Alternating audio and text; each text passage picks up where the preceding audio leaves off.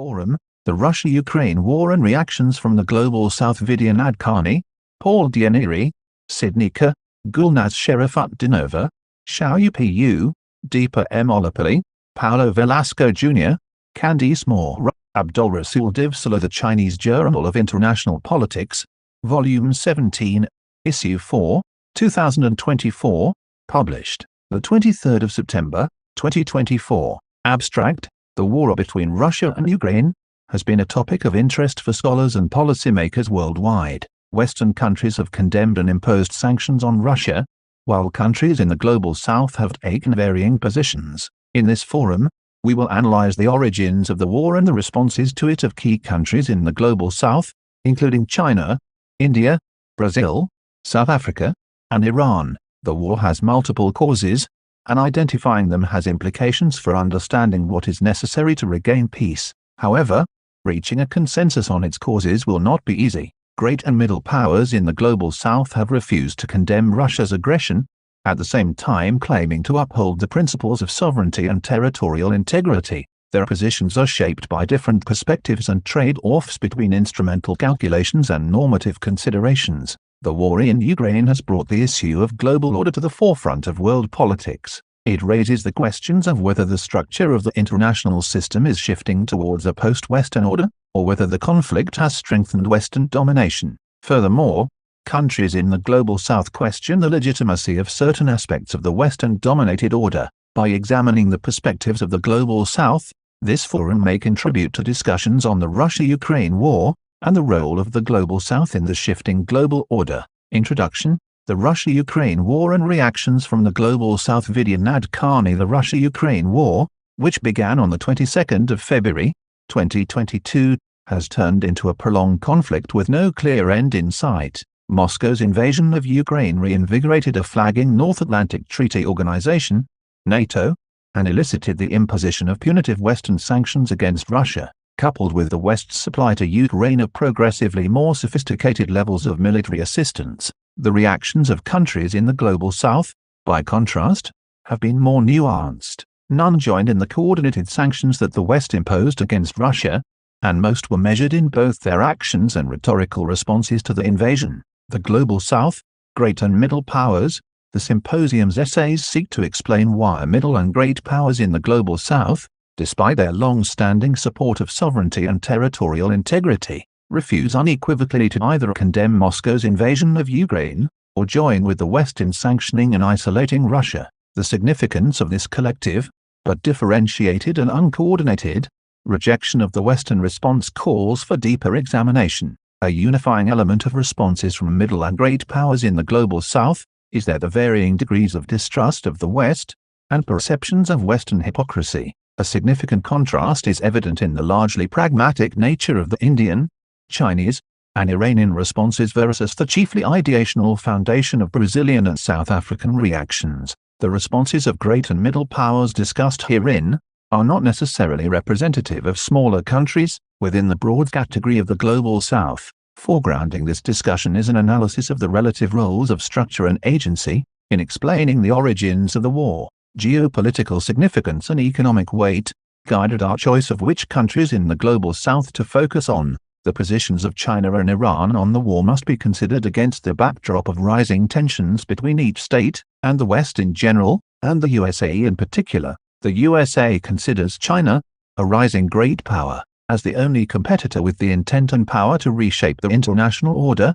One Washington hence views China's explicit but qualified support of Russia as evidence of Beijing and Moscow's shared revisionist aspirations to mold the liberal international order into one that conforms more closely to their respective interests and values. In calling for a revised international order, Beijing's primary concern has been to push back against what China sees as U.S. hegemonism, to eschew Western efforts towards regime change and uphold instead the principle of non-interference in the domestic political arrangements of states, and to oppose the use of economic sanctions against other countries, as a coercive instrument, whereby to achieve the West's political objectives. China's partnership with Russia is framed, in part, by these broader strategic considerations, 2. The West perceives Iran, an emerging regional power, as a repressive political regime and a disruptive global force, a target of harsh Western sanctions, Iran views a kindred fate in Russia's isolation from the West. Since the start of the Ukraine war,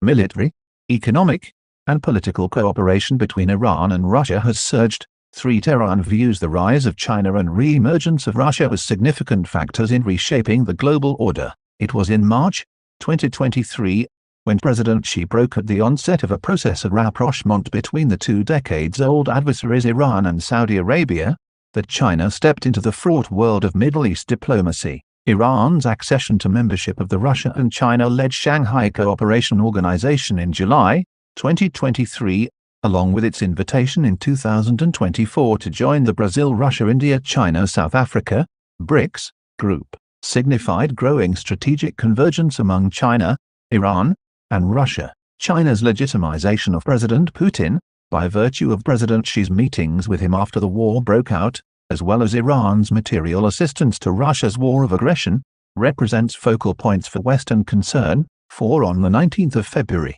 2023, U.S. Secretary of State Antony Blinken said of Chinese leaders that, p. publicly, they present themselves as a country striving for peace in Ukraine, but privately, we've already seen over these past months, the provision of non lethal assistance that does go directly to aiding and abetting Russia's war effort. 5. In response, Wang Wenbin, spokesperson for China's foreign ministry, criticized the USA for fanning flames and stoking confrontations by arming Ukraine and rebuffed such finger-pointing and even coercion and pressure on China-Russia relations.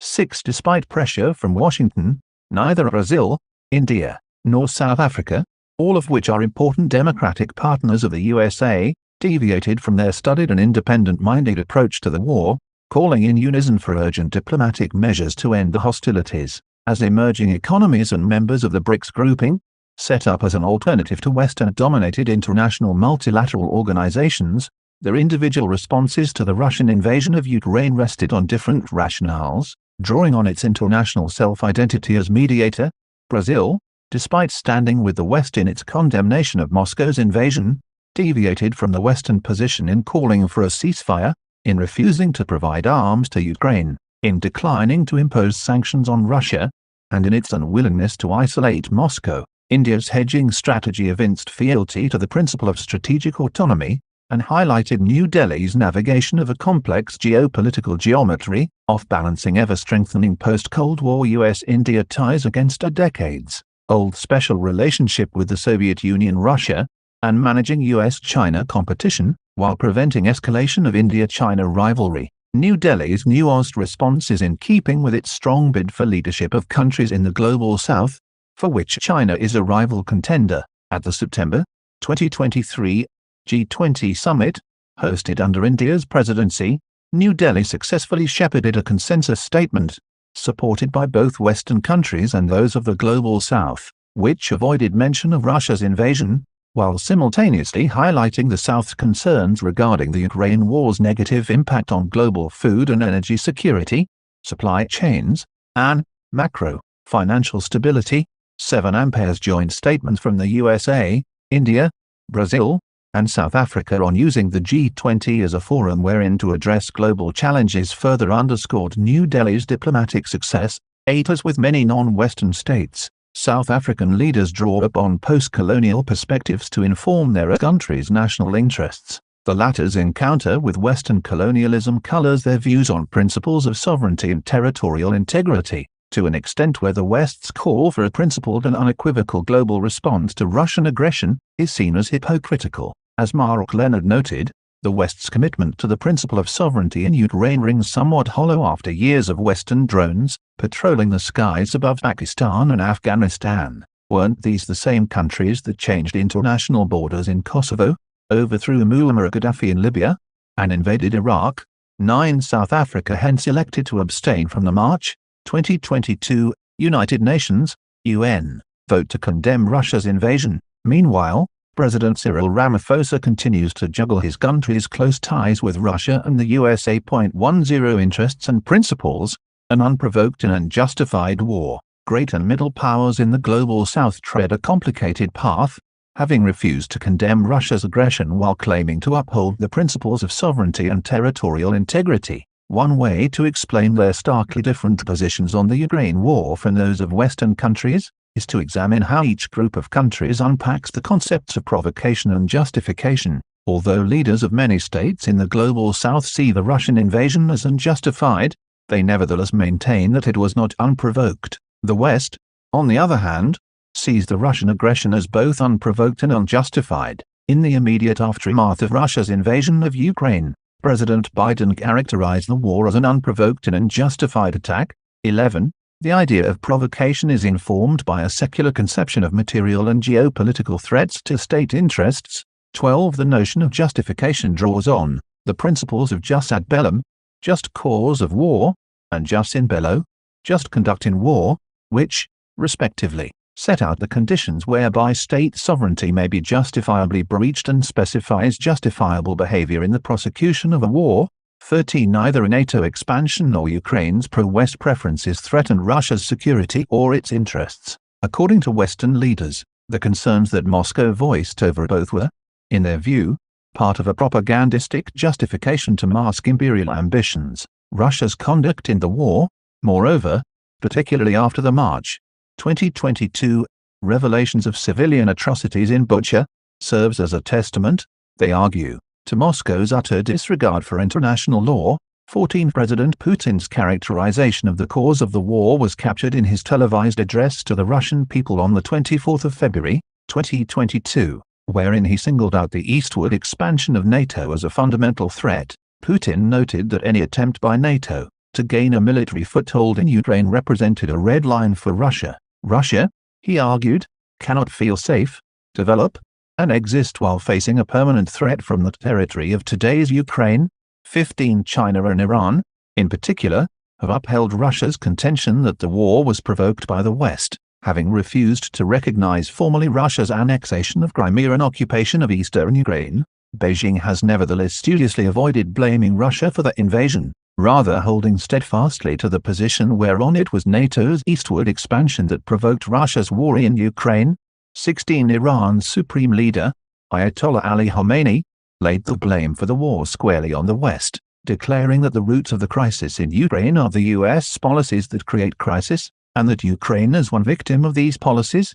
17 Although the countries in the global south have not specifically pinpointed NATO expansion as a factor, their refusal to condemn Russia implies a certain measure of hesitation in citing the war's causes. However, as regards China and India in particular, their continued strategic engagement with Russia, such as the expression by China's envoy to the European Union, EU, of support for Ukraine's territorial integrity, and India's External Affairs Minister Jaishankar Subramaniam's positioning of India, as being clearly against the conflict in Ukraine, is regarded in certain quarters as diluting their indirect criticism of Russian aggression. 18 hence serving the interests of neither of the participants nor indeed of the international community.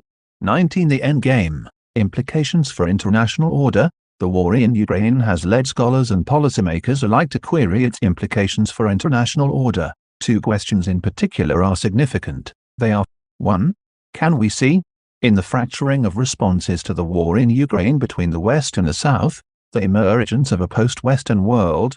And 2. How are countries in the global South positioned on the question of a potential US-China Cold War? Nested within these questions of international order are the role and place of the global South and its utility as a single analytical category. Countries in the global south may be unified in their concerns over development, but they vary widely in geopolitical and economic affinities. Using the Ukraine war as a marker, the voting behavior of African countries was divided down the middle, with half supporting two UN resolutions, in 2022 and 2023, condemning Russia's invasion, and most of the remainder abstaining from the vote. 20 in Asia, only Japan and South Korea joined in the condemnation of Russia's invasion, countries of the Association of South East Asian National did not. 21 Latin American countries adopted varied but lukewarm positions tailored to their individual national interests. 22 Hence, a post-Western world remains incipient, although the war in Ukraine solidified a uniform Western response that may be showing signs of weakening, the non-Western world, while refusing to join in, did not mount a unified solidarist front, multi-alignment, or engagement with all centers of power, which has animated the strategic policy choices of most countries in the South, implies a predilection for multipolarity rather than for a bipolar world of US-China competition. 23. The Russia-Ukraine War, which has exacerbated US-China tensions and cemented an instrumental Russia-China entente, has opened another arena of competition for the USA and China, that of the search for influence in the global south. Constructive engagement with India may allow the USA to tackle the grievances and concerns of developing countries, and for the USA to capitalize on India's pragmatic approach to negotiating changes in international economic and financial institutions that support their own economic growth and development. On the other hand, China's ample resources will serve as a magnet for countries seeking trade and investment.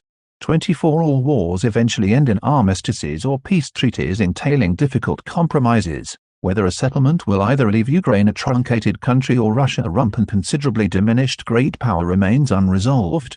25 But the war has rendered more urgent the larger issue of the shape of the coming international order, the Russia question, the ramifications of a defeated or strengthened Russia, is entangled with the outcome of US-China hegemonic competition, which is, in turn, affected by Russia-China alignment. Most countries have so far opted to punt on the US-China question, which is as true of US allies as it is of countries in the global south. As Puglierin and Zerka have stated, I, in the years to come, the European Union will likely face difficult strategic decisions, whether to back the United States in its geopolitical competition with China whether to punish China for its support of Russia, or whether to rebuild relations with Russia after the war. 26 Former Indian National Security Advisor Menon expressed the frustration of countries in the global south, noting that for many parts of the globe, a year of war in Ukraine has done less to redefine the world order than to set it further adrift,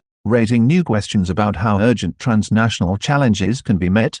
27 the shape of the coming international order will hinge partly upon the questions of whether the war continues to polarize Western and non-Western powers, and on the eventual outcome of the war, and the nature of the armistice or peace agreement that follows. The causes of the Russia-Ukraine war, multiple levels of analysis Paul D'Anieri, Sidney Kerr, and Gulnaz Sharafutdinova Why did Russia invade Ukraine? Explaining the war is both an end in itself, and a means to the more important ends of understanding how to end war and how to prevent it from recurring, although, in retrospect, it is tempting to see the invasion as having been inevitable.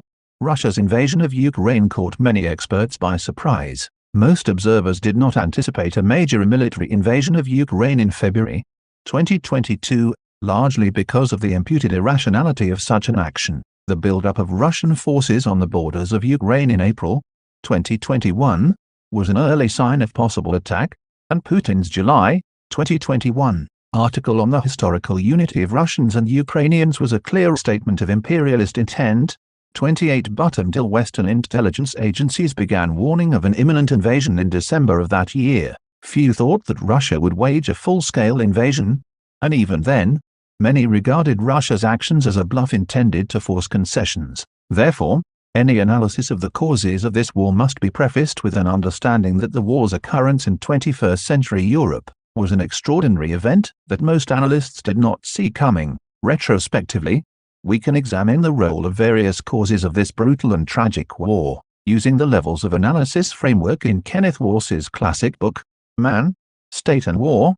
We investigate in this essay systemic, state-stroke society, and individual level factors beginning with the individual, and moving outwards to more permissive factors.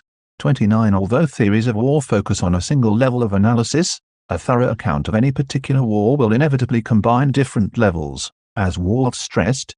30 Beginning with the individual is appropriate. Over the last two decades, Russia's political system has undergone an evolution towards a deinstitutionalized, personalist dictatorship. Given the outsized role of one person in maintaining the system for the benefit of the elite, focusing on Putin and his encircling elite is essential. Agency is clearly observable in this case. Structures, although not insignificant, were far from instrumental in causing this catastrophic war. Presidential leadership and the cognitive level enablers of Russia's invasion individual level explanations of the war focus on the personality and decision-making of Vladimir Putin.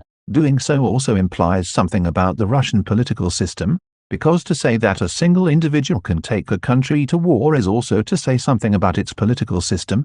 31 What Putin is thinking is an individual characteristic. The personalization of the Russian regime is a state-level characteristic. Individual leaders, even in democratic states constrained by checks and balances and institutional veto points, play an independent and systematic role in shaping decisions to intervene in other states. 32 In personalist dictatorships, such as Russia's in 2022, a leader's role is at least as important as it is in democracies. Stoner is among the many that lay responsibility for the war at Putin's feet, due to his feckless attempt to rebuild a doomed empire. 33 Like attributes the decision to invade to Putin's prioritizing his personal obsession with Ukraine over Russia's national interest. 34 Putin's role, however, must be viewed in the context of Russia's political regime, and the informational and cognitive dynamics underpinning it, both decisions relating to invading Ukraine, in 2014 and again in 2022, were made behind closed doors, by a very small group in the Kremlin. Such decision-making reflected the personalized nature of Russia's political system, which has degenerated into one whose main function is the preservation of the ruling elite's power. 35 Inter-elite relationships have long revolved around Putin with different elite groups turning to him for arbitration. Regime personalization expanded after the 2014 Crimea annexation. The perceived success of the special operation catapulted Putin's image from that of the country's president to one of a national hero and savior personifying national pride and strength. 36 That small group in the Kremlin, however, underestimated the war's costs. Blattman argues that the decision to start a war can only occur when there are an underestimation of costs and the ability to project these costs onto others. 37 This insight helps to explain the Kremlin's decision to invade. The low-risk assessment results from three factors. First, regime personalization is associated with the diminished quality of information that the leader receives. 38 An authoritarian leaders need to coup, proof they rule forces underlings constantly to demonstrate their loyalty. 39 Demonstrating loyalty entails, rather than offering independent assessments, validating the leader's views. This was palpable in the televised meeting of the Russian Security Council meeting on the 21st of February, 2022, whose participants looked to be trying to figure out what Putin wanted to hear and then tell him. 40 Kapitonenko specifically invokes Irving Janis' concept of groupthink in this respect. 41 Grusheva argues that very few people in the Russian leadership were aware of the decision to invade and were hence unable to shape it, as so many Russian officials did not believe that Russia would invade Ukraine. Grusheva asserts, they were content to tell Putin what he wanted to hear. 42 Second, the perceived success of the Crimea operation, and the resultant adulation of the president likely emboldened Putin by convincing him that he was on a historical mission to promote Russian greatness. 43 polling data show that Crimea's annexation reversed a decline in Putin's popularity, taking his ratings to new highs, while opposition to the 2022 invasion remained passive, especially compared to the vocal milbloggers' demand that the war be prosecuted with greater determination.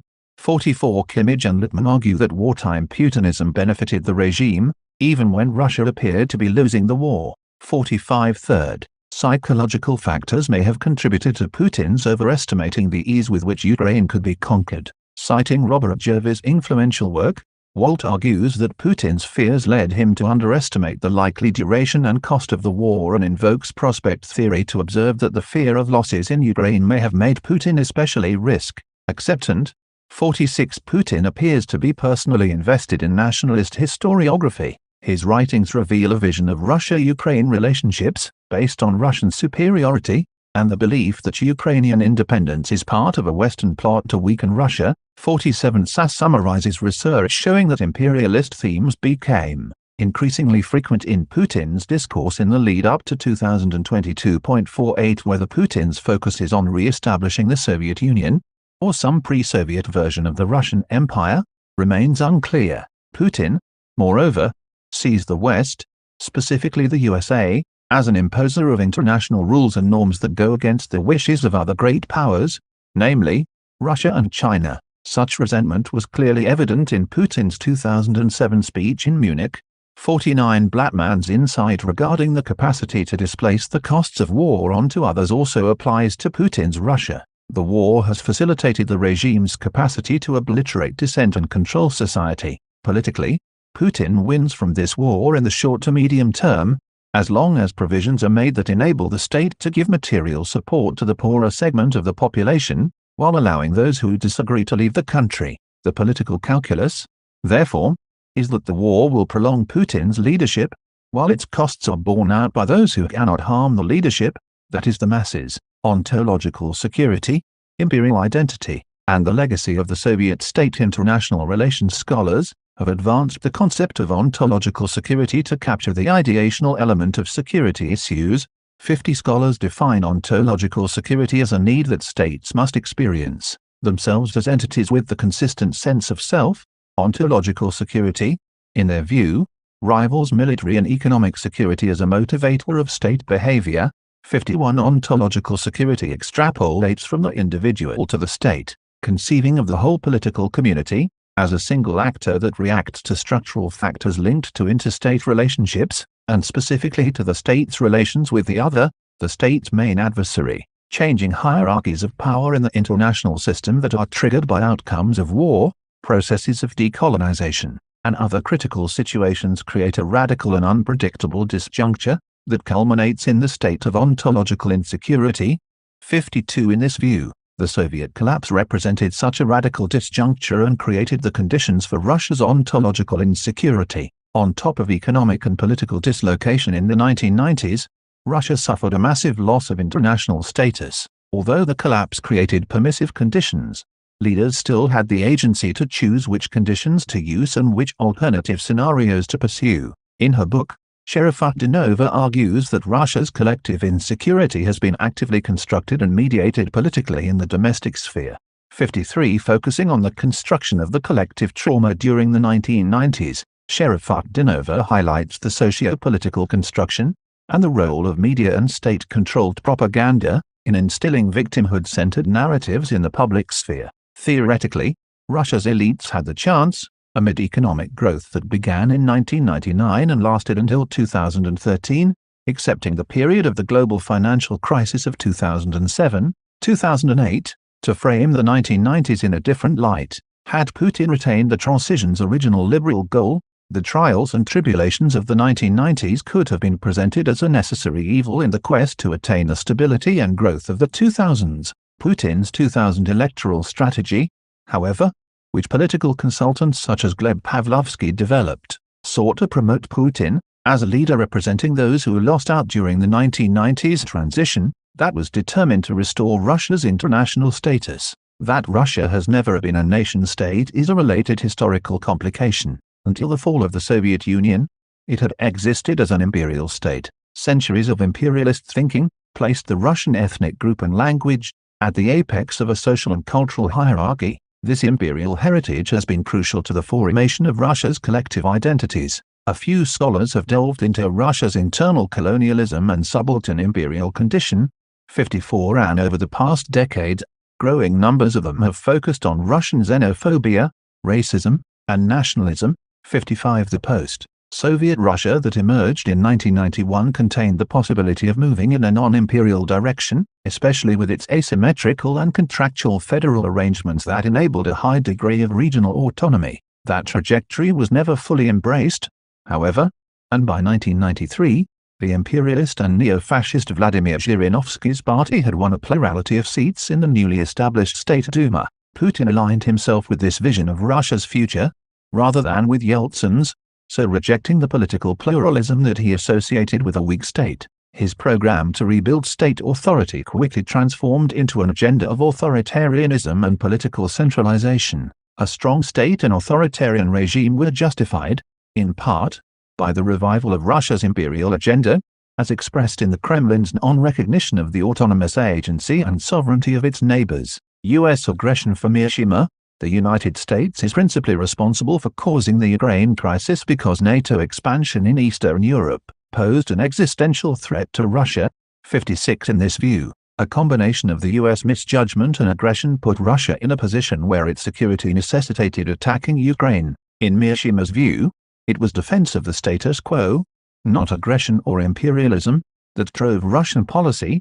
the increasingly strident expansionist rhetoric of Russian leaders notwithstanding, Posen similarly claims that the unwillingness of the United States to consider, let alone concede, a sphere of influence to Russia will likely figure as an important contributing cause of this war. 57 Menon and Ruger assert that NATO expansion was unnecessary, and also contributed to what some have called a second Cold War with Russia, albeit noting that the war had other causes as well.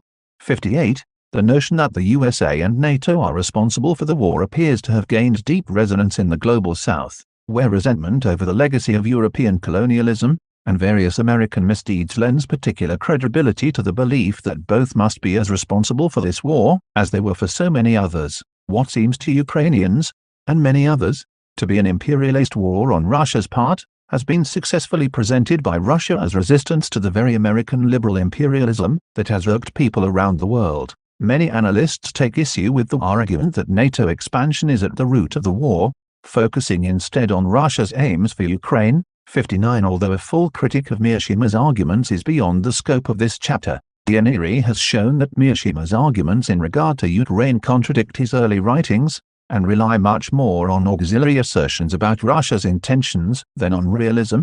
60 These competing state level realist arguments are rooted in different assumptions on exactly what the status quo was and, therefore, who disrupted it. By attacking Ukraine, was Russia defending or upending the status quo? Smith and Dawson deploy Type 2 neoclassical realism, beginning with systemic and regional factors that created the context for Russian policy, and then exploring why Russia chose war from among the other options. They point to the transition in Russia from a great power pragmatism to a new survival paradigm, wherein war became a viable option for Russia after the failure of its attempts to secure Ukraine within its sphere of influence. 61 Structural geopolitics and geoeconomics. What's globalization got to do with it? Structural arguments may focus on the politics of insecurity, realism, or on the role of global economics. The focus of system-level realist arguments is on the role of anarchy in international politics, whether anarchy is merely a permissive cause of war, or is in itself sufficient to cause war, divides offensive from defensive realists. Applying this distinction to the Russo-Ukrainian war has been complicated by Mearsheimer, the most prominent offensive realist of recent decades, having made arguments in this case which strongly resemble those of defensive realists in attributing the war to the actions of a single state, the USA. Few analysts have invoked system-level factors as playing anything more than a permissive role in causing the war. D'Anieri finds that the security dilemma constrained Russia, Ukraine, and the West and hence that the states had less latitude for action than analysis focusing on lower levels implies. 62 Ampere's different structural argument highlights the role of economic globalization and Russia's role in the world economy. Russia's economy and hence its politics remain heavily dependent on global energy markets. A long slide in energy prices undermined the country's economy in the late Soviet era and early post-Soviet era. That slide reversed itself around the time Putin came to power.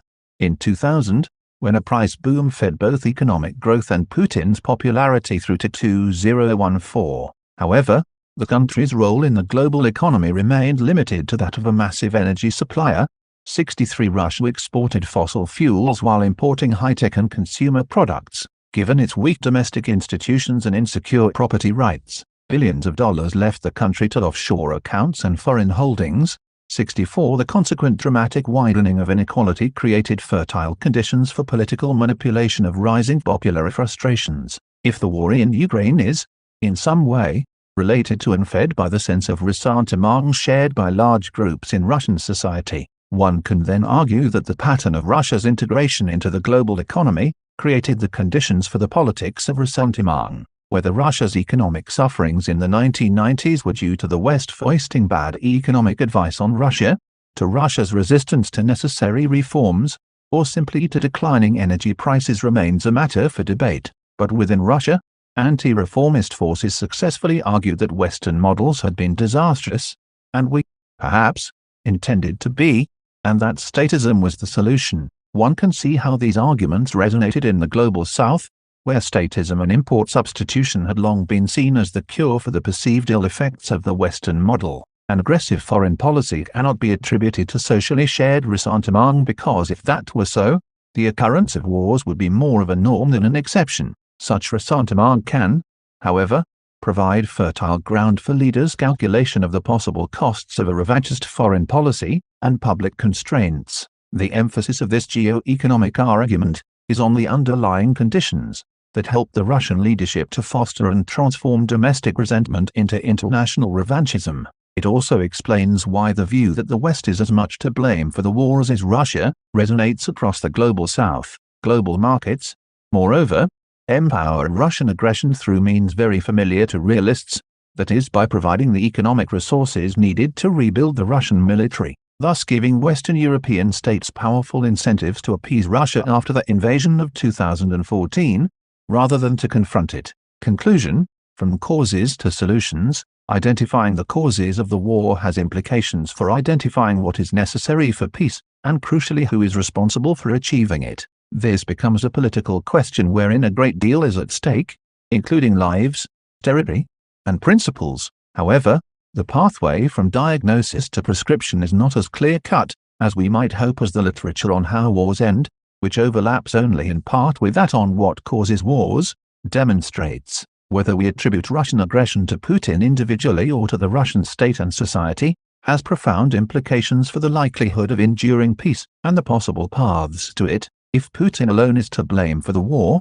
there is no immediate solution, but the longer-term solution is both clear and inevitable. If aggression is more broadly rooted in the Russian political system, or the attitudes of the Russian people.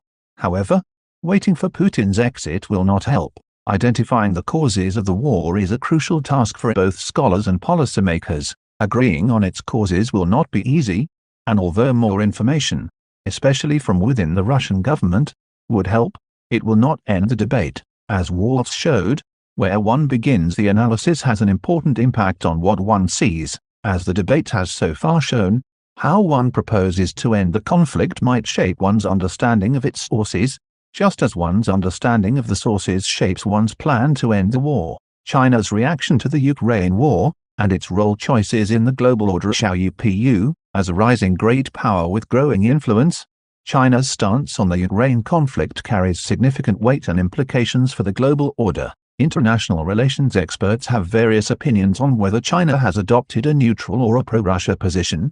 65 This essay examines the Chinese response and places it in a conceptual perspective of international order. China's position on the Ukraine war constitutes a balancing act among competing incentives. The Ukraine conflict has generated discussions about whether the global order is shifting towards a post Western order or whether Western domination of the order is strengthening.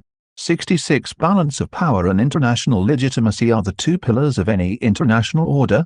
67 As the Chinese actively deliberate the merits of the existing order, Beijing's reaction reflects the contested visions within China to reshape the changing global order. The Chinese reaction China's position on the Ukraine war has been the subject of debate in the international scholarly community. Many experts highlight China's inherent difficulties, describing Beijing's position as one of irreconcilable choices, a balancing act, and a strategic straddle.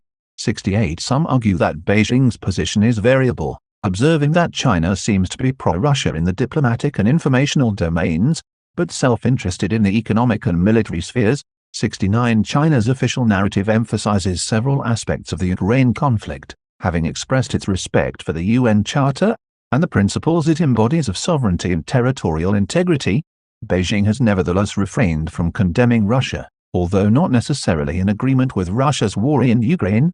Certain elements of Beijing's statements echo Russia's position. For example, unlike Western governments, which typically blame Russia as the aggressor, Beijing alludes to the complicated causes of the Ukraine conflict, asserting that the legitimate security interests and concerns of all countries must be taken seriously and addressed properly. Beijing calls for a balanced, effective and sustainable European security architecture.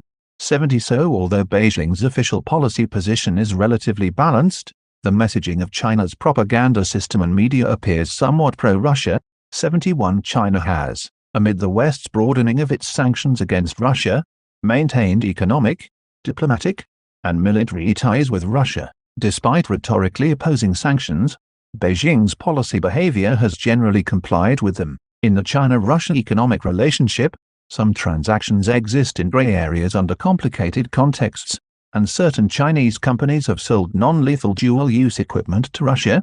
72 China has not, however, provided Russia with lethal weapons, but the USA nevertheless accuses Beijing of supporting Russia's military-industrial base, 73 while disowning any intention of providing military aid to either side of the conflict.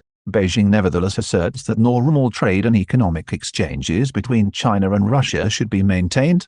74 In sustaining its partnership with Russia, Beijing has tried to conduct a relatively balanced diplomacy. China's voting behavior in the UN largely reflects its position on the Ukraine war, with Beijing having avoided either condemning or directly backing Russia. Since the war began in February 2022, China has abstained on most Ukraine-related UN resolutions, 75 senior Chinese diplomats, meanwhile, have maintained communications with both their Russian and Ukrainian counterparts. Xi Jinping has also discussed the Ukraine crisis with leaders of such major countries as France, Germany, and Brazil. In February 2023, China released its comprehensive peace proposals, 76 and in April 2023. Chinese President Xi Jinping had a phone call with Ukrainian President Zelensky.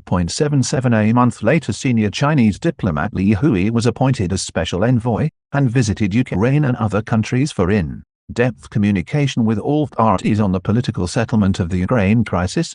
78 Although China did not attend the Swiss Peace Summit on Ukraine in June 2024, it endeavored to enlist certain developing countries to join the six point peace plan China issued with Brazil in May 2024.79 Beijing's joint proposal with Brazil calls for an international peace conference, held at a proper time that is recognized by both Russia and Ukraine, with equal participation of all parties as well as fair discussion of all peace plans. 80 Above all, in the context of the Ukraine crisis, it is commonly believed that Beijing is adopting either a neutral or a pro-Russia stance. Chinese officials emphasize, however, that they seek to make an independent judgment based on the merits of the matter itself, 81 which would imply that Beijing is not taking a conventionally neutral position, 82 but rather emphasizing both the immediate cause of the military conflict and the broader conflict between Russia and the West. When it comes to the conflict between Russia and NATO, Beijing demonstrates its understanding of Russia's security concerns in regard to NATO. Beijing, however, does not unequivocally endorse Russia. China has long championed the principle of respecting sovereignty, and Russia's blatant violation of Ukraine's sovereignty is overwhelmingly evident. Beijing's calculus multiple factors influence Beijing's stance on the Ukraine conflict. China is trying to balance its commitment to uphold the UN Charter and its principle of sovereignty, while at the same time maintaining its strategic partnership with Russia and safeguarding its economic ties with the West. Navigating such a complex and challenging international landscape requires a delicate approach. China has strong incentives to demonstrate its commitment to protecting the UN Charter and the general principles of sovereignty and non-interference in the internal affairs of states that it embodies. As a permanent member of the UN Security Council, UNSC, China has a vital responsibility, in the interests of China's international image, to uphold these fundamental principles of international relations. But these fundamental norms are also crucial to Beijing for political reasons. China has always claimed that the preservation of sovereignty is its core interest. Upholding that principle is indeed crucial to the legitimacy of the Communist Party of China. 83 China has hence put the principle of respecting the sovereignty of all countries at the head of its 12 proposals for the political settlement of the Ukraine crisis. 84 Beijing, however, has long-term interests in maintaining its strategic partnership with Russia. To attribute any single causal factor to the deepening of the Sino-Russia partnership would hence be fallacious.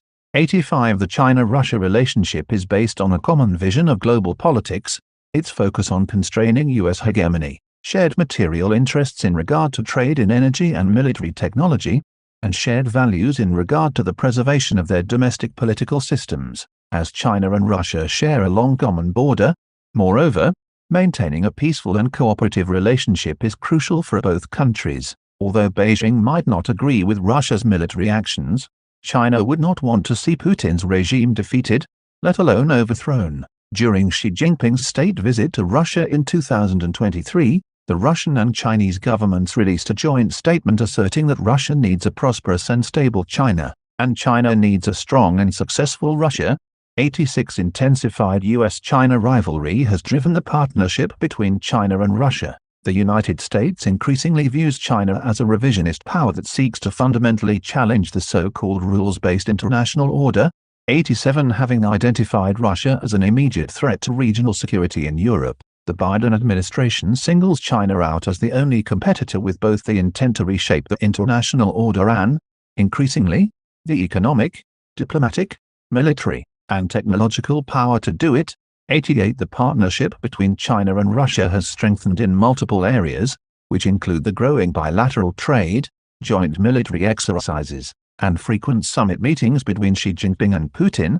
89 Although Beijing seeks to maintain its partnership with Russia, Sino-Russia alignment differs from a traditional military alliance.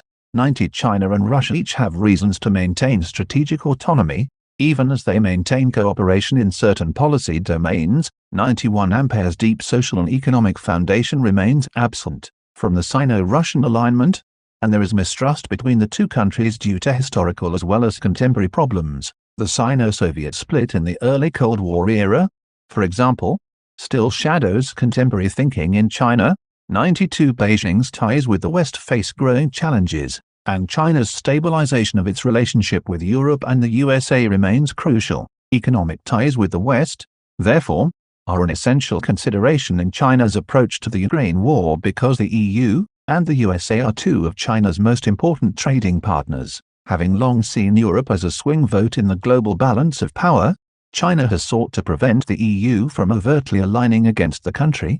93 Above all, its variance from the Western perspective notwithstanding, Beijing's position also differs from that of Moscow. Beijing's voting behavior in the UN is relatively balanced. While maintaining economic and military ties with Russia, Beijing has tried to avoid becoming the target of Western sanctions, and has not provided Russia with lethal weapons. China has also promoted its own peace plan. China's role choices in the shifting global order, the ongoing conflict in Ukraine, has brought the issue of global order to the forefront of international politics triggering a new round of reflections on that order's nature.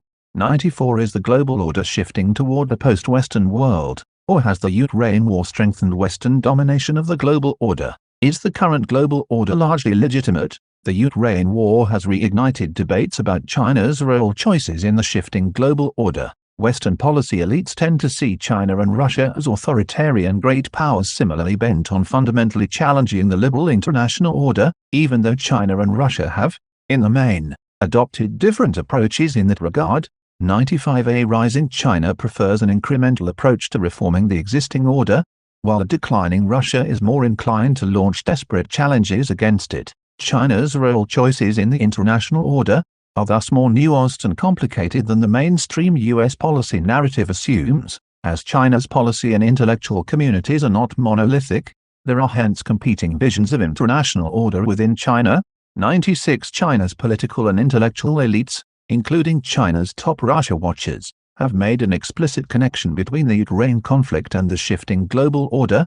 97 China's foreign policy experts actively evaluate the impact of the Ukraine war and its implications for China's choices amid the changing global order. 98 From a theoretical perspective, legitimacy and power are the two key pillars of international order. According to Kissinger, Every international order must sooner or later face the impact of two tendencies challenging its cohesion, either a redefinition of legitimacy or a significant shift in the balance of power. 99 Depending on how the Chinese think about international legitimacy and power balance, there are four ideal types of international order wherein China can play a different role. The first vision sees China embracing the delegitimization of the West, led order by functioning as a spoiler, and new leader with an alternative view of how the world should be structured.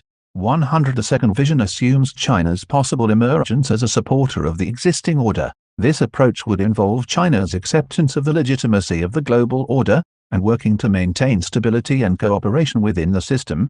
101 The third vision assumes China's role as a shirker, prioritizing domestic policies while shaping incremental change in the existing order.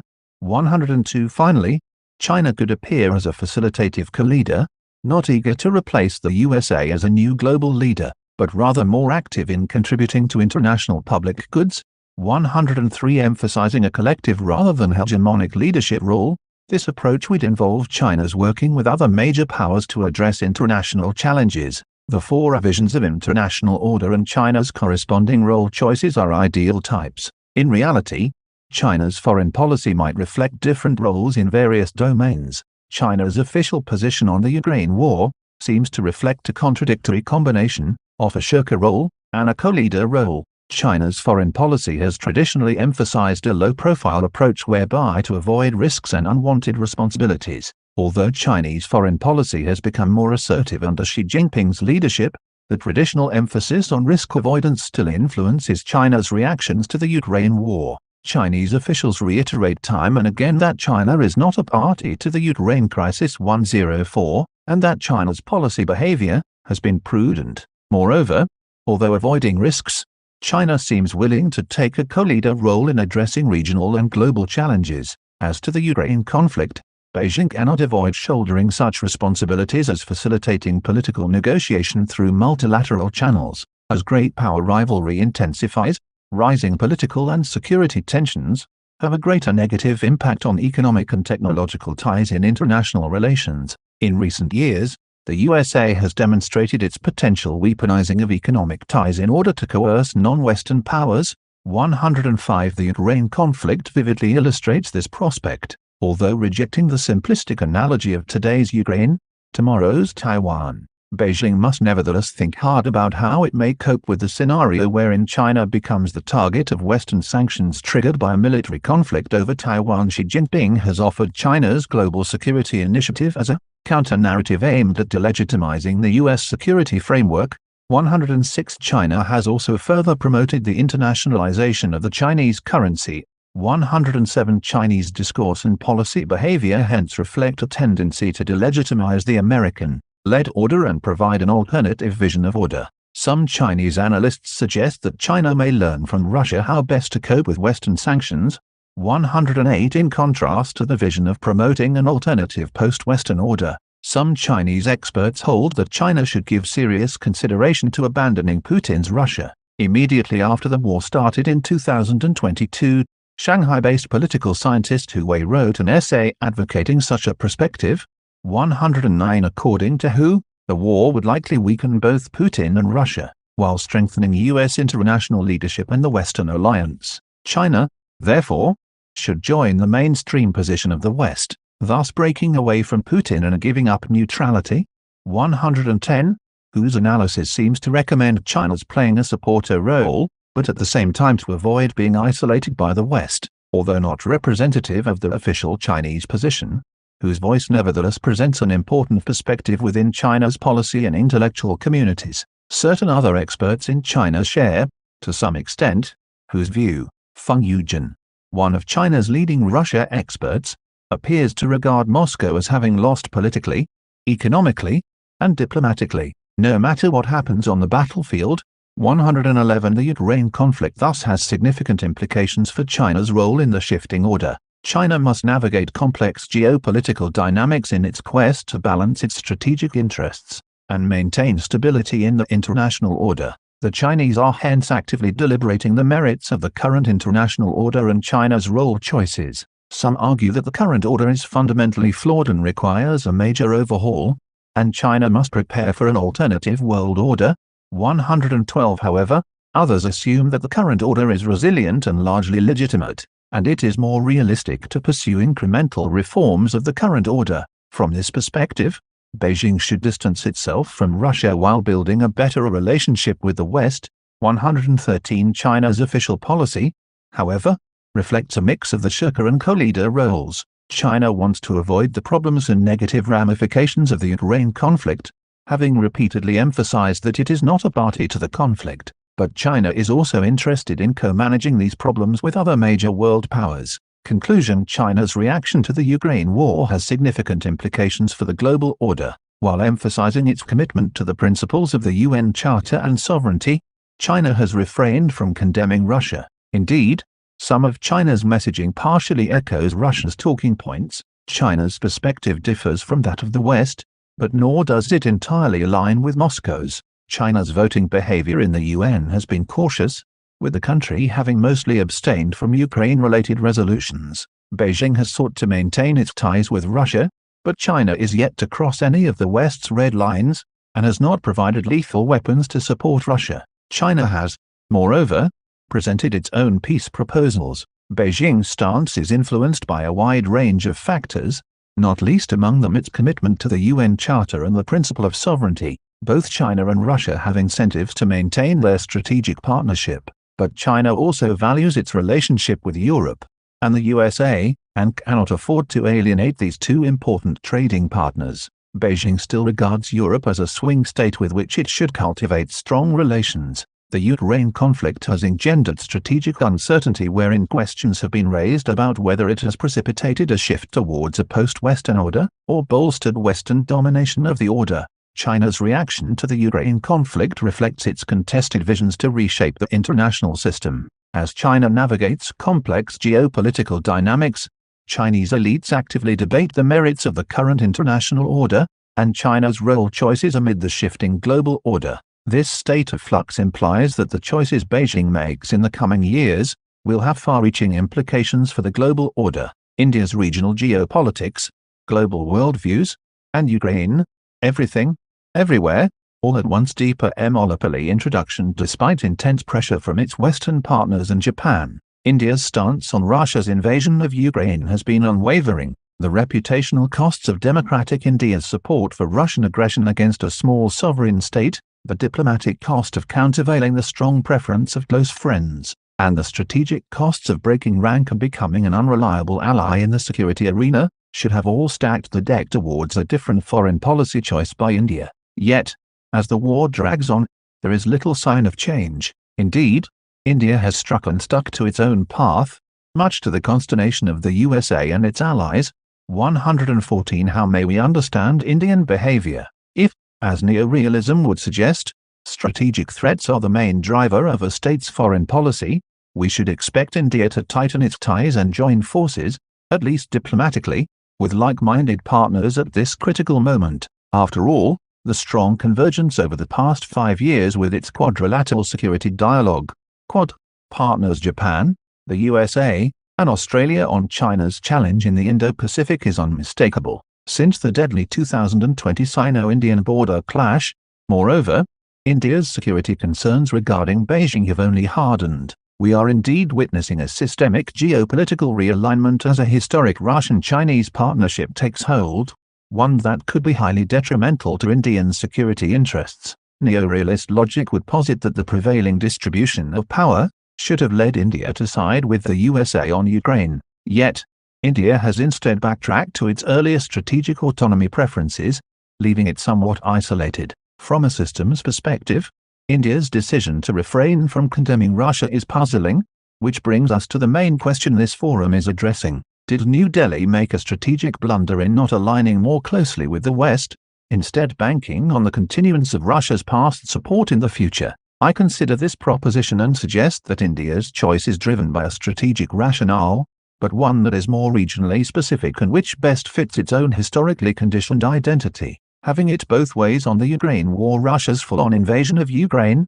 created a quandary for Indian foreign policymakers. Moscow has been a highly regarded diplomatic and defense partner of India for decades. Relations between India and Ukraine have also been excellent, with nearly 20,000 Indian students studying there. On the other hand, the so-called Quad has, since its relaunch in 2017, become India's main Indo-Pacific strategy to counter China. As such, that India should try to have it both ways comes as no surprise. The subcontinent has abstained from every UN resolution denouncing Russia, as was also the case in late 2023 on the question of electing Russia to the UN Human Rights Council, HRC.115. Meanwhile, in practice, India and China have been on the same side regarding votes and sanctions against Russia. India is the only major power to have membership in organizations that are generally seen as competitive, even adversarial. Since the war broke out, India has maintained its regular attendance at the Shanghai Cooperation Organization,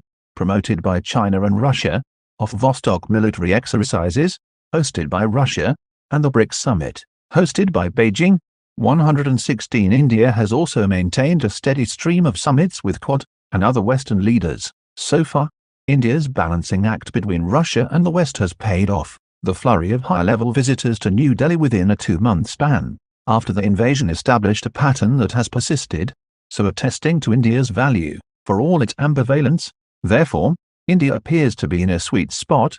117 explanations for India's neutral policy, beyond leadership and domestic compulsions how may we theoretically characterize Indian ambivalence in international relations, in applying a three-level Walton approach, I suggest that domestic state-society relations and leadership factors are not important drivers of India's decision to maintain its backing for Russia.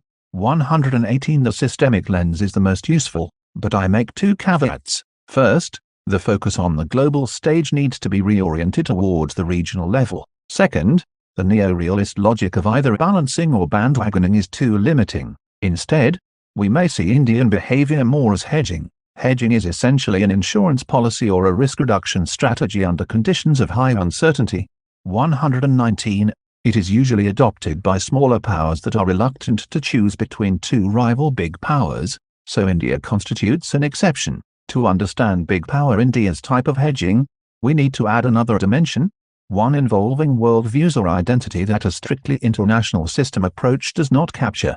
Beyond leadership, there are few in the Indian strategic community or foreign policy establishment that differ significantly from the government's current approach to Russia. If Prime Minister Narendra Modi does have his own particularistic approach to the Ukraine war, it is hard to perceive what is distinct about it. Narendra Modi's own popularity ratings have been nothing short of remarkable. At 76%, his current approval rating puts him in top position of Democratic leaders globally, 120 although the June 2024 election result implies a dent in his image of invincibility. Modi's dominance as a political leader nevertheless remains intact. Such popular support is due, in part, to his image as a tough and bold actor at home and abroad. As this has given him wide latitude in policy making, it is safe to say that almost any decision the Prime Minister took on Ukraine and Russia would have withstood opposition, beyond domestic compulsions but what about India's domestic compulsions, the war and consequent sanctions, causing a rapid spike in energy and food prices, had huge negative economic impact on India. The Indian leadership's decision to accept Russia's offer of oil, at an impressive discount of up to 30% led to the attempted soft public shaming by certain Western officials and commentators, who suggested that India was funding Vladimir Putin's war machine. Arguably, India's need for critical supplies from Russia, like oil, coal, and fertilizers, to protect domestic post-pandemic recovery could play a role in its stance on Russia. But if this was the sole impetus, India could have adopted a more transactional outlook simply by accepting the cheap deals while upholding a more forceful diplomatic position against the invasion. India's imports from Russia have risen dramatically since that event, largely due to a nearly 400-fold increase in its oil purchases. 121 However, as Russia is highly dependent on both China and India as customers, a stronger rebuke from New Delhi would not have imperiled its business with Russia. Therefore, neither the domestic nor leadership levels offer a satisfactory explanation for India's neutral position. So how well does the third system level theory hold? The system's impact on India's regional security calculus as a big power, India is not above hedging. Some scholars have recently suggested that the global south, including large countries like India, is hedging between the USA and Russia on Ukraine as a kind of insurance, and to gain greater global maneuvering room by playing one great power against the other. 122 I argue that India's hedging needs to be understood as more than just an insurance policy for the sake of security or a means to play one power against the other. India's position is more than instrumental in being intrinsically tied to its sense of international identity and worldview. In safeguarding its security, what does India's hedging look like? India is essentially hedging against China, but stops short of outright balancing, and, although hedging with Russia, is hardly bandwagoning. Although some have referred to the former as evasive balancing against China, the point is that such evasiveness in itself proves that India is hedging, 123 which, likewise with notions of zone balancing, is less costly and risky. 124 Interestingly, neither proponent sees either evasive or zone balancing as effective, which suggests that it is perhaps best to hedge after all. Since the mid-2000s, India has, gingerly, been using Russia as well as the USA to hedge against China. New Delhi thus sought to keep its relations with Moscow stronger than between the latter and Beijing. These hedging strategies can be explained as relatively cost-effective and less risky in protecting India's national security interests, especially at the regional level. The US-India convergence over an increasingly assertive China, however, never extended to Russia. Washington's propensity to group China and Russia together as an authoritarian axis threatening the global liberal order, even before the Ukraine war, found no resonance in New Delhi. The reality was that American and Indian threat perceptions may have converged in the Indo-Pacific region, but diverged in the global context. As Walt notes, when a state chooses to balance or bandwagon, threat perceptions often matter more than just the distribution of capabilities. 125 Despite New Delhi's arms diversification efforts over the past decade, Russia still accounts for nearly 60% of its supply, 126 in 2022, India went ahead, under the threat of U.S. sanctions, with its order of Russian S-400 missile systems, one that gives India crucial strategic deterrence against China and Pakistan, and hence it was hardly willing to forego. Meanwhile, Russian Foreign Minister Sergei Lavrov stated that Russia was respectful of Indian aspirations to diversify military equipment and technology. 127 this suggests that Russia values India as more than just an export partner and that relations will not be compromised by growing Indian reliance on Western technology and indigenous weaponry. Hedging and a studied ambivalence also happen to fit best with India's worldview and international identity. 128. This is where the big power India hedging differs from that of small and medium states. India's obsession with strategic autonomy and preference for multipolarity emanate from a deep-seated sense of civilizational self-awareness, as well as colonial humiliation. At a meeting, soon after the invasion, with the then UK Foreign Minister Liz Truss, her Indian counterpart S. J. Jaishankar noted that the global economic rebalancing over past decades that translated into a more multipolar world had led to the replacement of the G7's centrality with that of the G20. He bluntly observed the result as more countries who have views and influence on how the world should be run. 129 to suggest that India's historical identity does not matter, therefore, is breathtakingly presumptuous. Will India's decision calculus change? That said, exactly how tenable is India's so-called sweet spot?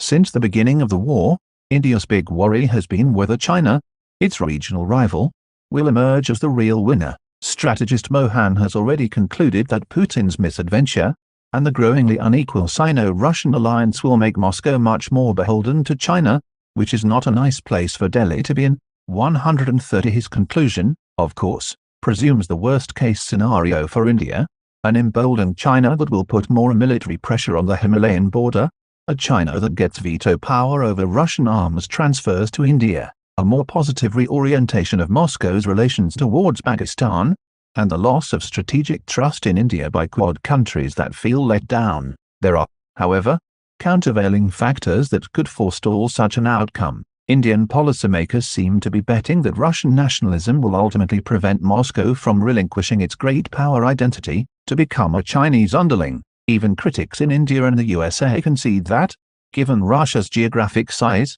natural and human resources, and military and nuclear capability. It is hard for Russia to not be a great power 131, and that even a defeat in Ukraine would be only a temporary setback. 132. That Putin does not worry about China's possible exploitation of Russian weaknesses to extract deals that were earlier unthinkable, for example, in the sensitive Far East, seems highly unlikely. 133 So would Moscow want to put all its eggs in the China basket, there is little reason why Russia should not continue to value India's prized independence, which fits Moscow's own preferred multipolar world, although India cannot offer an alternative to China's capital and markets, which Russia will need more than ever.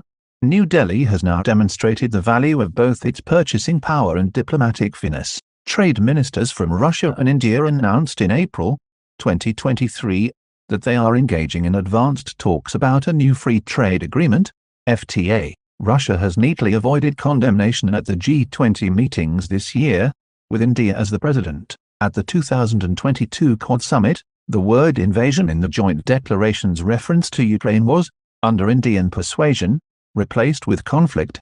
134 Looking to the future, therefore, Why would Russia itself not want to hedge with India? Russia's cooperation with China might well be limited to an anti-Western front, leaving aside the Indo-Pacific. Putin's successful visit to Vietnam in June 2024 was a signal that Russia's own interests in Asia was not just China-oriented. 135 The extreme case of a Russia-China-Pakistan combination would be devastating for India, but that Moscow would choose to tilt towards a financially strapped Pakistan, perennially mired in domestic controversies, is almost unimaginable. India's security concerns lie squarely in its own neighborhood and the Indian Ocean region, places wherein Russia is least likely to follow Chinese dictates. There is also faint hope that Russia may be able to persuade China that, from a self-interested view, an anti-West front would be more feasible if India were not decisively pushed into the American orbit. 136 Conclusion India is everything everywhere,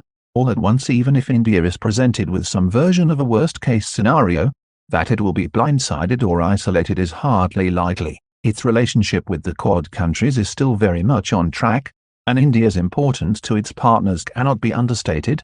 After all, there is no Indo-Pacific without India. If anything, others are becoming increasingly socialized into India's strategic unwillingness to balance or bandwagon, and its historically conditioned style of big power hedging. Indian ambivalence will not change unless triggered by a clear change in threat perception and security risks. There are signs that, despite New Delhi's outward confidence, there are concern and skepticism as to how much help India can expect from Russia in regard to China. India's Chief of Defense Staff Anil Chauhan has remarked that Russia is a declining power, and that its importance will wane. 137 He moreover flagged the growing power of China. Even the convergent Indian and Russian worldviews on multipolarity are under some pressure. According to a former Indian Foreign Secretary, there are many valid reasons for India, 2.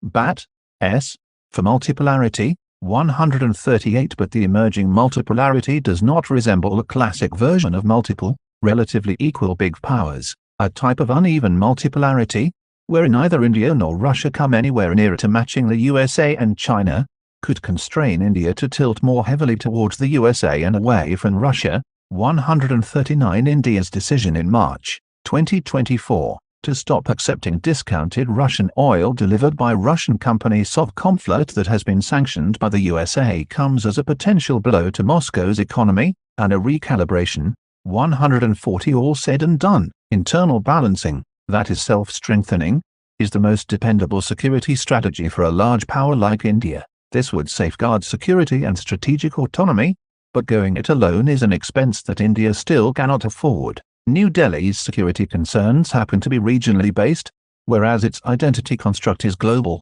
Within this more limited security outlook, India's current hedging is so far allowing it to be everything everywhere all at once, and at the same time to safeguard its immediate security, independence, and global identity. Brazil's position on the war in Ukraine, the search for a difficult balance Paulo Velasco Jr. Brazil's non-confrontational stance and respect for peace are part and parcel of its international identity. The country always appears ready and committed to contribute to the peaceful resolution of disputes and conflict mediation. 141 in accordance with Article 4 of the Federal Constitution of 1988, which outlines the guiding principles of Brazil's international relations. In addition to having actively participated in the mediation of several international crises and conflicts, the country also assumes responsibilities in multilateral spaces, such as the UN, where it frequently acts as a rotating member of the UNSC. Within the UNSC, it prioritizes preventive diplomacy and diplomatic means of conflict resolution, as provided for in Chapter 6 of the UN Charter, as well as non-violent means to protect civilians. Brazil and the invasion of Ukraine When Russia invaded Ukraine, Brazil, occupying a seat in the UNSC, as a rotating member for the 2022-2023 biennium, voted in favor of the resolution proposed on the 25th of February, 2022, that condemned the invasion. In the words of Brazilian ambassador to the UN, Renato Costa Filho, we renew our appeal for the full cessation of hostilities, for the withdrawal of troops, and for the immediate resumption of diplomatic dialogue. There is no alternative to negotiation to solve the present crisis. 142 Brazil clearly acted in line with its best diplomatic traditions in the defense of sovereignty, the non-use of force, and a negotiated solution to the crisis. Similarly, Brazil supported the resolution proposed at the UN General Assembly, UNGA, 11th Emergency Special Session on the 2nd of March, 2022, condemning the Russian invasion as a violation of international law. Brazil made a point, however, of voicing certain reservations, namely, by criticizing the text's lack of balance and excessive politicization. Indeed, Brazil's ambassador to the UN Renato Costa Filho emphasized that the resolution cannot be seen as something that allows the indiscriminate application of sanctions, 143 having supported the aforementioned UNGA and UNSC resolutions. Brazil chose to abstain from other important votes, making it clear, though, that it disagreed with the way in which certain countries sought to respond to the invasion of Ukraine. Brazil criticized the excessive politicization of the debates, and the attempt to isolate Russia without any substantial effort to negotiate a solution. Moreover, in line with the other BRICS countries, Brazil also abstained from voting on the UN Educational, Scientific and Cultural Organization resolution on the 16th of March, 2022, from voting on the International Labour Organization resolution on the 23rd of March, 2022, and from the vote to suspend Russia from the UNHRC. Brazilian diplomatic tradition is eschews taking extreme positions that could compromise efforts to reach an understanding. As regards sanctions, the country believes that these are really the best path, because they tend to isolate the state engaging in deviant behavior, thus undermining that state's trust in the international community which is essential to reaching peaceful agreements. 144 Furthermore, economic sanctions have major negative effects on the populations of the targeted states which have no control over the abusive practices of their leaders who are themselves minimally affected. Brazil's international identity, and its conceptual foundations, in addition to its quest for a more prominent international leadership role, and the status of a global player, Brazil has reinforced its decision to base its international involvement on the ideas of autonomy and universalism. In the 1960s, there was a noticeable shift away from the country's traditional alignment with Washington in favor of a more autonomous engagement, one committed to a more just and less asymmetrical world order. Since then, autonomy has remained a pillar of Brazil's international engagements, other than during the short period of the Collor administration, 1990 to 1992, and, more recently, in 2019, 2020, when there was a clear convergence of interests between Brazilian President Bolsonaro and US President Trump. Autonomy has also served as a stimulus for a universalist practice, understood as the effort to diversify partnerships, even with countries that are in no way aligned with Brazil's values, principles, or even political practices on many issues. This explains why Brazil maintains cordial relations with countries under authoritarian regimes, even those that are known violators of human rights, despite of its active defense of democracy, rule of law, and individual rights and freedoms. According to Ambassador Celso Amorim, special advisor to Brazilian President Lula da Silva and Brazil's former foreign minister, by universalist foreign policy we mean that Brazil has no prejudices or preconceived views. We are interested in dialogue with all regions of the globe. 145 As a complement to this rationale, Brazilian leaders understand that, to preserve the opportunities offered by universalism, and given its pragmatic foreign policy approach, Brazil should not take sides with countries engaged in conflict or hostilities. This explains, for example, the country's efforts to maintain good relations with both Israel and Palestine, and also why Brazil has offered to act as a peace mediator. 146 Furthermore, the commitment to non-interference in internal affairs, enshrined in international law as a corollary of the principle of sovereignty and actively defended by Brazil also helps to explain why the country avoids making strong public condemnations of states that are experiencing domestic instability, or where persecution and violence against minority groups are rampant. This goes not just for countries in the surrounding region, but also for African countries and important partners from the Middle East and the BRICS. Therefore, disregarding domestic abuses and violations led by the Russian government is a matter of diplomatic pragmatism, something that also contributes to a softer position in the case of the invasion of Ukraine. In Brazil's case, the pursuit of an international leadership role and achievement of the status of global power, thus going beyond the traditional classification of Brazil as a middle power, intermediate country, or emerging power, are indicative of a realist approach to foreign policy that pays close attention to the distribution of material capacities in the international system. 147 This role transition represents a complex and challenging historical process of change in international hierarchy, scale, and status, in three main dimensions. 1. Within global governance institutions, with the transition from being a rule taker to a rule maker. 2. In the international political economy by increasing the country's relative weight in international trade and in regional and global gross domestic product, and 3. In socialization between states, by being recognized as a global power by dominant actors on the international scene. 148 Actually, the history of Brazilian foreign policy reveals a constant tension between the pursuit of power and the search for development. When one adds to this tension the pacifist, reconciliatory, and territorially satisfied image that Brazil has of itself, the result is the quest for a more prominent international leadership role, although not through classic displays of military might or dissemination of a given ideology of the state in the rest of the region, but rather through diplomacy and political dialogue.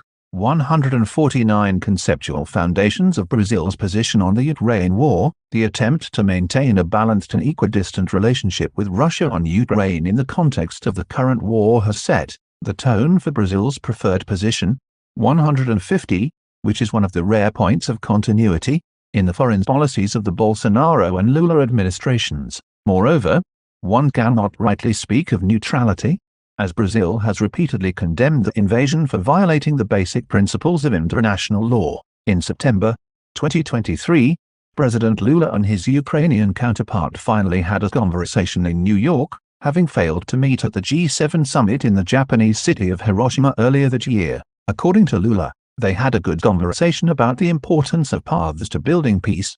Brazilian Foreign Minister Mauro Vieira said that the meeting between Lula and Zelensky was conducted in the cooperative mood and that both countries would keep talking to strengthen bilateral ties. Vieira stressed, as well, that Lula showed a willingness to talk to both sides involved in the conflict and reaffirmed that Brazil condemns in line with certain previous Brazilian votes in the UN, the territorial invasion of countries. During Lula's speech at the opening of the 78th UNGA in September 2023, the Brazilian president, without mentioning Russia, stressed that the UNSC's loss of credibility is the result of actions from its permanent members, who wage unauthorized wars aimed at territorial expansion or regime change. Furthermore, he affirmed that the war in the Ukraine exposes a collective inability to enforce the purposes and principles of the UN Charter, adding that no solution will be lasting if it is not based on dialogue, and that work needs to be done to create space for negotiations. 151. All those points highlighted by the Brazilian president reinforce the position of Brazil since the beginning of the war, that is to say, the country has no problem in officially condemning the invasion, or albeit carefully choosing its words so as to maintain a certain balance between the two sides at war, as well as between global South countries and Western states. If there is to be global harmony, the international community must develop mechanisms to bridge the divide between the North and the South and Western and non-Western states, a function wherein Brazilian diplomacy claims to be useful due to its universalist international identity. In May 2024, Brazil and China signed a joint statement calling for peace talks, held at a proper time that is recognized by both Russia and Ukraine, with equal participation of all parties. 152 The document, signed by Celso Amorim, a special advisor to Brazilian President Luiz Inácio Lula da Silva, and Chinese Foreign Minister Wang Yi, confirmed that the two countries believe that negotiation is the only viable solution to the Ukraine crisis. The concepts of autonomy, universalism, the defense of peace, and peaceful settlement of disputes, all of which are fundamental components of the country's international identity, contain elements sufficient to explain Brazil's resistance to giving in to pressure from the USA or European countries, either to send weapons to Ukraine or support the US-led Western sanctions against Russia. Brazil believes that isolating Russia, and portraying it as the villain of the peace significantly reduces the chances of peace talks. Brazilian foreign policy has consequently not adopted the liberal interpretation, attributing the invasion to the despotic and autocratic impulses of President Vladimir Putin. Brazil is unlikely to imperil its relations with Russia, the country with whom it established a strategic partnership in 2002 and on which it depends for fertilizer imports that are fundamental to the Brazilian agribusiness sector. In 2023, in the midst of the invasion of Ukraine, bilateral trade reached an all-time high of US $11.4 billion, up nearly 55% from the 2021 figure. Furthermore, despite Brazil's differences with Russia on issues of democracy and human rights, the two countries share such goals as the defense of a more multipolar order, and also coordinate their participation in groups such as the BRICS, which strengthens Brazil's international position and bargaining power. The dispute between China and the USA at the global level also influences Brazil's position on the Ukraine war. Brazil does not wish to choose between Washington and Beijing, rather seeking to maintain a balanced relationship with both without aligning automatically with one or the other, so to maximize possible gains from both sides. During his visit to China in April 2023, President Lula proposed to Xi Jinping the creation of a group of countries whose specific aim is to broker peace in Ukraine. This position is consistent with Brazil's tradition of pacifism and its advocacy of the peaceful settlement of disputes. In a conversation with Joe Biden at the White House in February 2023, President Lula criticized the invasion of Ukraine as violating the principles of sovereignty and territorial integrity, but studiously avoided making any commitment to send weapons to Ukrainian troops. Interested in maintaining good relations with the USA and China, Brazil remains firmly committed to preserving room to maneuver sufficient to enable adjustment of its actions and strategies, and avoids any sign of subservience or subordination to either side, diverging from the USA in some UN votes. However, does not signify Brazil's full convergence with Beijing's positions on the war. For example, Brazil voted in favor of the 23rd of February, 2023, UNGA resolution on the eve of the war's first anniversary, which called for an end to the conflict and the withdrawal of Russian troops from Ukrainian territory. China, India, and South Africa, Brazil's partners in the BRICS, on the other hand, chose to abstain. Another example of Brazil's determination to follow its own path, which is not necessarily aligned with that of other countries of the Global South, was its vote on the 12th of October, 2022, in favor of the UNGA resolution condemning Russia's annexation of the provinces of Luhansk, Donetsk, Kherson, and Zaporizhia. In Brazil's view, given the difficulties that the populations of these invaded and occupied territories faced in freely expressing their will, the referenda held in these provinces prior to the annexation lacked legitimacy. China, for its part, was one of 35 countries that abstained from this vote. Role theory is also useful in explaining Brazil's positions on the Ukraine conflict importing concepts from the fields of sociology and social psychology, Holsti argued that national role conceptions represent important causal variables in international politics. A role is a pattern of behavior that a state actor deems appropriate in a given context, based on the actor's self-image and the expectations others have of that actor. 153 The set of norms, demands, and rules that others ordinarily attribute to a given role establishes role prescriptions, to which the individual self-adapts when assuming that role. Actors develop role conceptions, which serve to mediate between the alter's social expectations and the objectives, values, perceptions, and attitudes that the actors themselves bring to the role they have chosen. Role conceptions, therefore, are manifestations of the ego and simultaneously incorporate elements of the self and the ordinary. Holsti's innovation consisted in transposing the idea of role conceptions to the level of interstate relations while acknowledging that the international system does not have the same degree of cohesion, organization, and hierarchy as do domestic societies. Holsti observes that international relations studies often use the concept of status to describe the stratification of positions among states, based on their involvement in foreign affairs, their respective military capacity, economic weight, and prestige, among others. Holsti proposes that states have national role conceptions, which include the policymaker's own definitions of the general kind of decisions, commitments, rules and actions suitable to their state, and of the functions, if any, their state should perform on a continuing basis in the international system.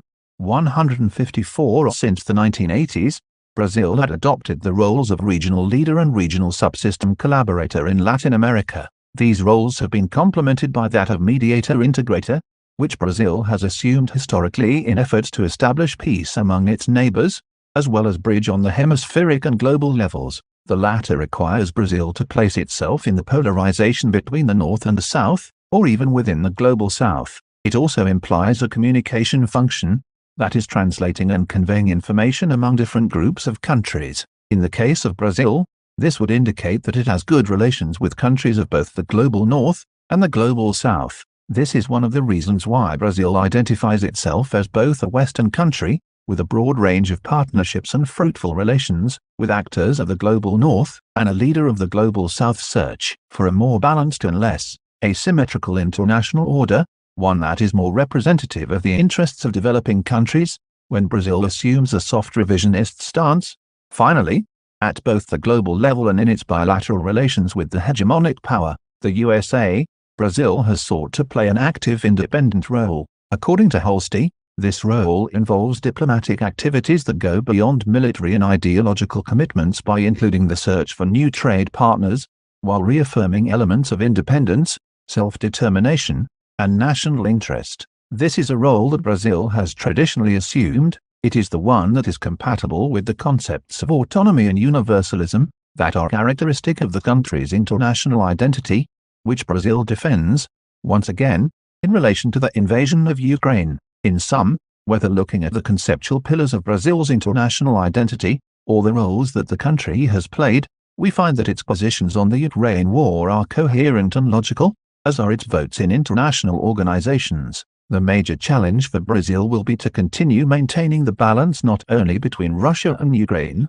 but also between long-standing Western allies and strategic partners of the global South amid a world marked by growing numbers of conflicts and divisions. South Africa's response to the Russian invasion of Ukraine and the shortcomings of a decolonial analysis Candice Moore introduction South Africa's unwavering yet understated support of Russia after its invasion of Ukraine in February 2022 has surprised the foreign relations fraternity in capitals of the global north. This support has taken the form of South Africa's abstentions from resolutions against Russia in the UNGA, naval exercises conducted with Russia and China in March 2023 and repeated statements by high office holders in support of Russia, 155 These are all valid indicators of support for a country, Russia, that is being increasingly marginalized in international politics. If the number of UNGA votes against its behavior is a measure, this essay sheds some light on South Africa's position in relation to the invasion by positing a decolonial approach to understanding it, at the same time arguing that such an approach cannot fully explain South Africa's response. The paper is divided into three substantive parts. The first documents the key aspects of South Africa's diplomatic response to the invasion. The second proposes a theory for making sense of this response. And the third provides an analysis in light of the theory. South Africa's response to the Russian invasion of Ukraine the day after the invasion, a tersely worded statement on the conflict by the South African government's Department of International Relations and Cooperation, DIRCO, reflecting the government's dismay, and calling on Russia to immediately withdraw its forces from Ukraine in line with the United Nations Charter surprised many. 156 The statement referred to escalating conflict between Russia and Ukraine, alluding to the conflict's long germination and implied equivalence between Russia and Ukraine. DIRCO's the 24th of February statement was swiftly invalidated by another from South Africa's governing political party, the African National Congress, ANC, released on the 27th of February. The party's own statement, reflecting more favorably on Russia, not only referenced eight years of persistent shelling of Donetsk and Lugansk by Ukraine, but also called for dialogue as a means of resolving disputes and a central role for the UN, albeit at the same time accusing the organization of dismal failure. The party statement referenced the Cold War and criticized the trampling of multilateralism. The ANC's understanding of the Minsk agreements favoring the Russian interpretation, however, is not the one to which all parties to the conflict subscribe. 157 The ANC also referred to other countries which wantonly attack, invade and occupy, seemingly alluding to the US invasion of Iraq, while simultaneously calling for repercussions for harm on civilians, without specification of the type of repercussions. 158 South African diplomacy, has followed a pattern of favoring Russian interests and interpretations by abstaining from voting on several UNGA resolutions condemning Russia's invasion and also, On resolutions otherwise related to the conflict, South Africa abstained from voting on the 2nd of March, 2022, resolution aggression against Ukraine that called on Russia to halt its aggression and withdraw its troops and on the 24th of March, 2022, draft resolution, humanitarian consequences of the aggression against Ukraine, that recognized the scale of the humanitarian crisis in Ukraine as a direct result of the Russian invasion.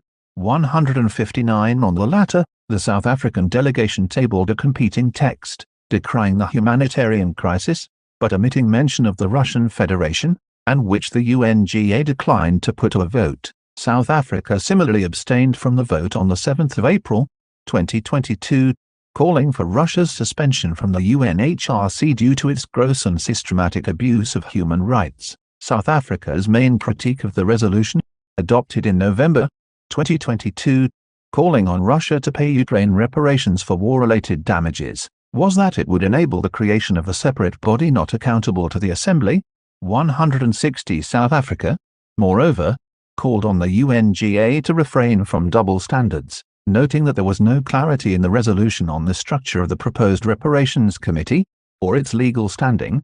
161 The country abstained from a fifth resolution adopted on the 23rd of February, 2023, almost a year to the day after the war began, calling for an end to the conflict. In abstaining from these votes, which passed with the support of a majority of UNGA member states, South Africa joined a selection of countries in the Global South that chose to abstain. South Africa's response in the context of its foreign policy the response of the ANC and, by implication, of the South African government must be seen in the light of several factors. First, South African foreign policy does not exist independently of the governing party, the ANC, which holds a national conference every five years the party's highest decision-making body, this conference is where the new party leadership is elected to lead the organization for the next five years and delegates vote upon and confirm important policy documents, as resolutions. These policy documents, drafted by the party elite,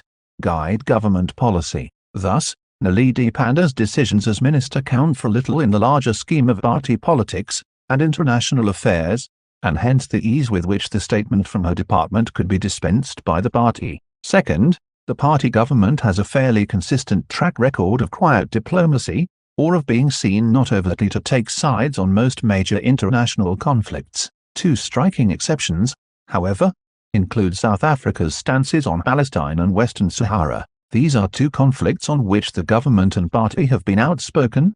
See the ANC website 162 on Palestine Solidarity, predating the current war on Palestinians, and on Western Sahara 163, going so far as to organize solidarity campaigns, in the case of Palestine, and mobilize the international community in pursuit of Sahrawi independence, in the case of Western Sahara. Third, the party sees the Russian invasion through the lens of its own specific history, as a liberation movement, and not necessarily as a benevolent agent, in world affairs. In the current party elites, now widely discredited, understanding of the ANC's own international history, the contribution of the Russian Socialist Federative Republic is remembered for the assistance provided to the ANC during the struggle. The section of history regarding the training of cadres in Odessa, Kiev, and Lviv, among others, meanwhile, is not as prominent.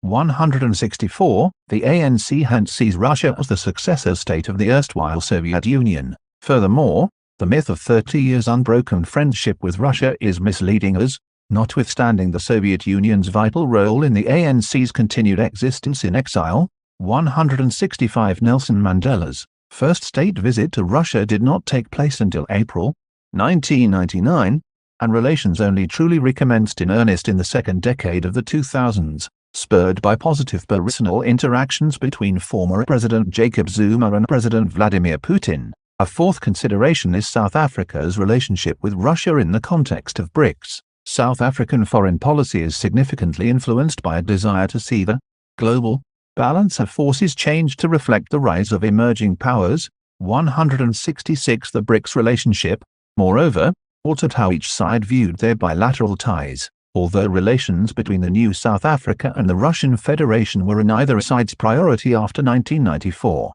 this changed after South Africa joined the BRICS, 167 Another consideration is Russia's recent geopolitical assertiveness in Africa. At least one observer has analyzed the strategies that Russia is using. They include debt for development swaps, nuclear technology exports, military and paramilitary cooperation, disinformation campaigns, and sponsorship for political parties. 168 South Africa has been relatively mute in regard to Russia's approach to the continent, which has witnessed the latter's stepped-up influence in Kuwait West Africa, and support for authoritarian governments, as well as other military, economic and diplomatic interests.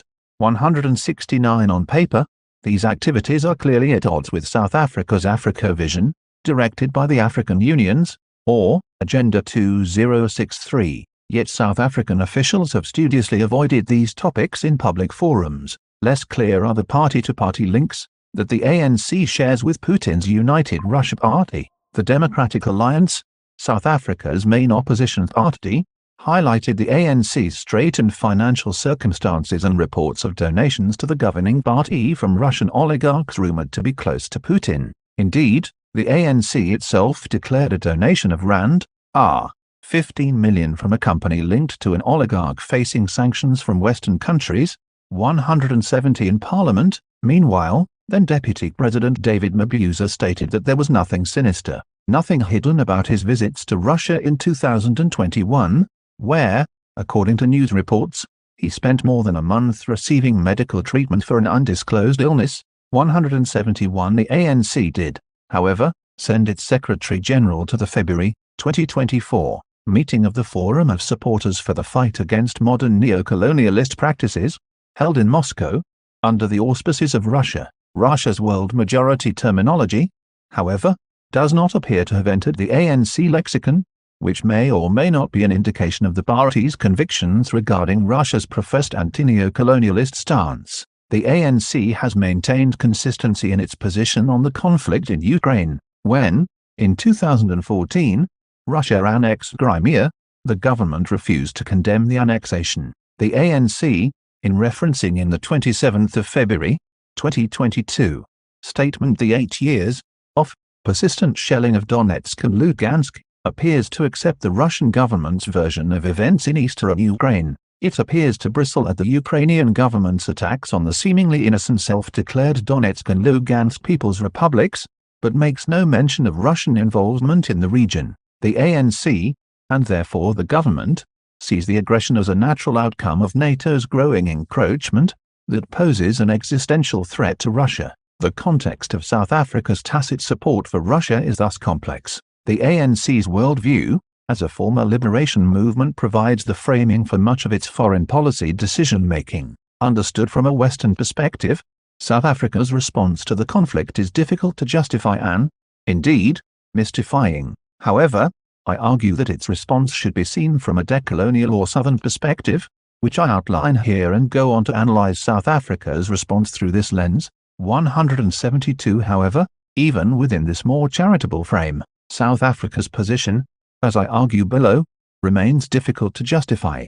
Decolonial standpoint theory, an internationalism of the global South decolonial standpoint theory, is a new perspective advanced here with which to analyze the foreign policy decisions of countries of the global South which, having often experienced colonization and subsequent liberation, have a unique outlook on the world infused with thinking shaped by these experiences. Decolonial standpoint theory takes inspiration from the broader standpoint theory that contends that a standpoint arises when an individual recognizes and challenges cultural values and power relations that contribute to subordination or oppression of particular groups. 173 Decolonial standpoint theory is an epistemology advancing the view that Global South social science should be practiced from the perspective of people in the Global South seeking to delink post-colonial peoples from the arbitrary linkages made between culture, power and Eurocentric knowledge systems.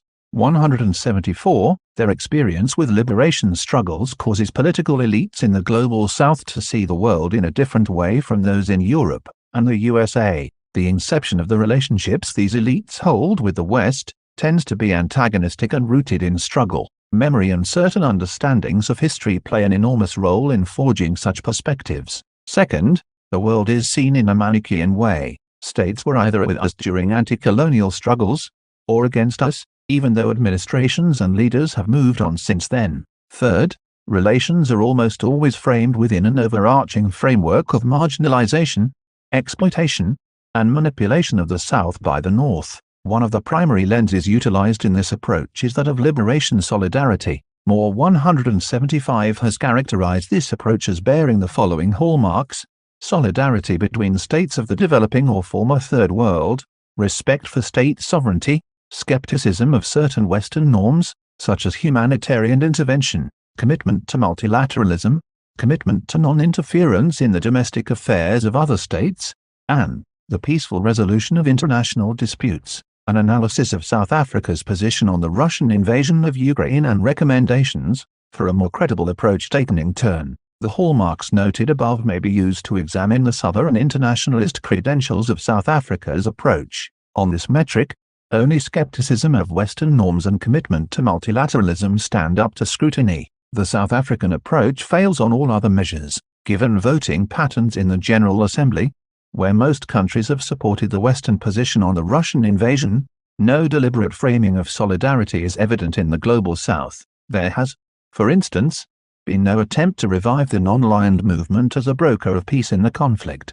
Although Russia is not a member of the Global South, Moscow is not associated with colonial expansion in Africa and Latin America, and thus enjoys a measure of political support. South Africa has clearly abnegated its support of respect for state sovereignty, while paying it lip service in justifying its votes. It has also been silent on Russia's central role in the invasion, which constitutes blatant interference in the domestic affairs of another state. In the context of an ongoing war, South Africa has continued to insist on the conflict's peaceful resolution through dialogue, thus hindering multilateral efforts to exert political pressure on Russia in the UN. What is additionally confusing for analysts is the price that South Africa is willing to pay for this moralizing stance in the UN. According to the South African Revenue Service, in February 2023, the country's top five trade partners in terms of exports were China, the USA, Germany, India, and Japan. In terms of imports,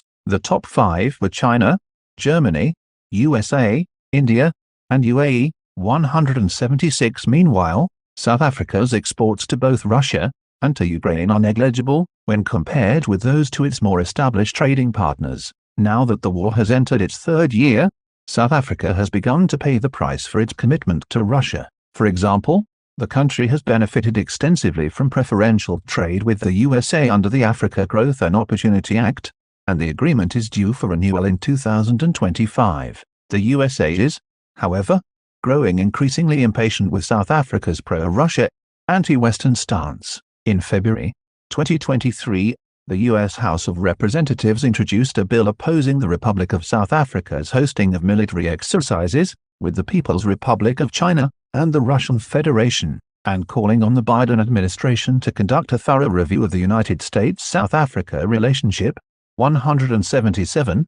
Although expert observers are not overly concerned about any direct repercussions the bill may have, they nevertheless sound a note of caution to South Africa, 178 South Africa's position also posed tensions vis-à-vis its responsibilities to the International Criminal Court, in view of the country's initial contortion of its responsibilities to the court in efforts to avoid Putin's arrest, should he step on South African soil, despite the 2013 Comprehensive Strategic Partnership, CSP, that South Africa and Russia signed, the density of official and business relations between the two countries in the first two decades of the 21st century was not high. Lofty plans for deeper engagement prior to and since the formal conclusion of the CSP have not borne fruit. 179 What the CSP does outline, however, is a commitment by each party not to become involved in any alliance or armed conflict directed against the other party, or to join any agreement that will infringe upon the sovereignty, territorial integrity or national security interests of the other side, 180 civil society linkages between the two countries are weak to non-existent. The main links between the two countries appear to be through their governments and their governing parties. Conclusion South Africa's position regarding the Russian invasion of Ukraine has surprised leaders and diplomats in Western capitals. A close reading of the country's diplomatic history and foreign policy making processes reveals, however, that it has always been reticent to condemn countries not belonging to the Western Fold, and consistently taken an alternative view of international affairs, as one encapsulated by Southern Internationalism. 181, although a moral case can be made to justify the substance of South Africa's position on the conflict,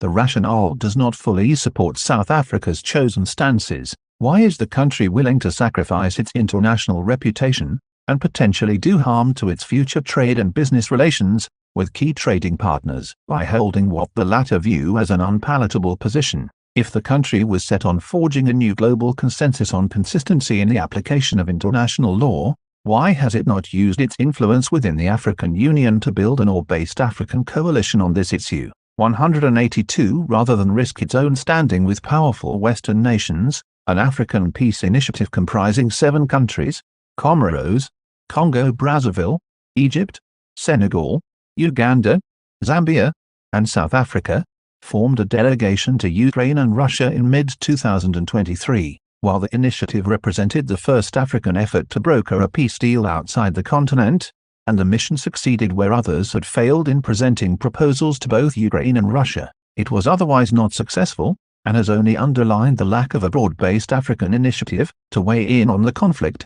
183 It is highly questionable whether South Africa-Russia relations since the end of apartheid, characterized by top, heavy elite interactions, including the BRICS formation but very little else, justify the level of diplomatic loyalty shown by South Africa to Russia to date. What the foregoing analysis shows is that South Africa's traditional foreign policy principles might have been upheld without being seen to succumb to Western norms or pressure, but instead, it has chosen a lone path littered with risks, a finding that leaves us with more questions than answers. Protective integration, making sense of the Iranian response to the Russian invasion of Ukraine Abdul Rasul Divsallar after Russia's February 2022 invasion of Ukraine, Moscow's relationships with Tehran underwent an unprecedented upgrade, to the extent where officials announced the finalization of a long-term strategic cooperation agreement, Iran's reactions to the war in Ukraine combine its keenness to use Russia's clash with the West as an opportunity to build an alliance and uncertainties about the consequences of Iran's support for Moscow.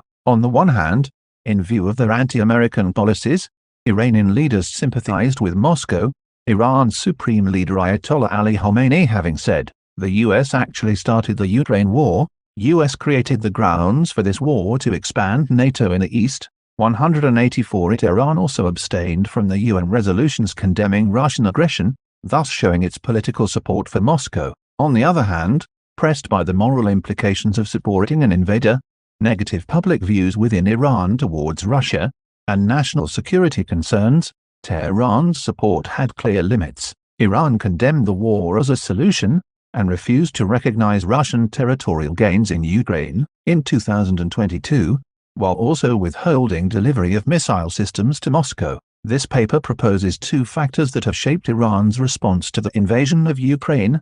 185 First, cooperation provides a layer of protection against hybrid threats. Protective integration among authoritarian regimes refers to a collective political solidarity against international processes or agendas that are interpreted as challenging incumbent regimes and their leaders, 186 Four protective strategies are salient in the Russo-Iranian case in contributing to state security and stability. They are political solidarity and strategic sympathy, policy learning through exchange of knowledge, intelligence, and successful policies, provision of military and security assistance, and shielding each other from isolation and international punishment. Second, Iran sees an opportunity through its greater interdependence with Russia which has emerged due to Russian wartime urgency. For Tehran, this opens the way to a further decoupling from the West, and the forming of a club of states outside the US-led order. Rising interdependence is both a context and a consequence of protective integration. Interdependence predicts that each participant will forge a path to attain valued outcomes that are dependent to some important degree on the choices made by the other, 187 immediate interests and limited opportunity costs justify and explain interdependence between Moscow and Tehran. Protective integration, the strategic logic behind protective integration, is that whereby even if a closer international partnership fails to contribute significantly to economic cooperation, or to resolve pressing developmental needs, it can nevertheless be instrumental for domestic stability and in insulating the state from hybrid threats. Moscow and Iran share a hybrid threat comprising an external security threat and internal instability. Iran is confronting the threat of direct military confrontation with Israel and the USA while under Western sanctions over its nuclear activities. The country is also dealing with the destabilizing effects of a growing state-society gap and severe economic and governance challenges.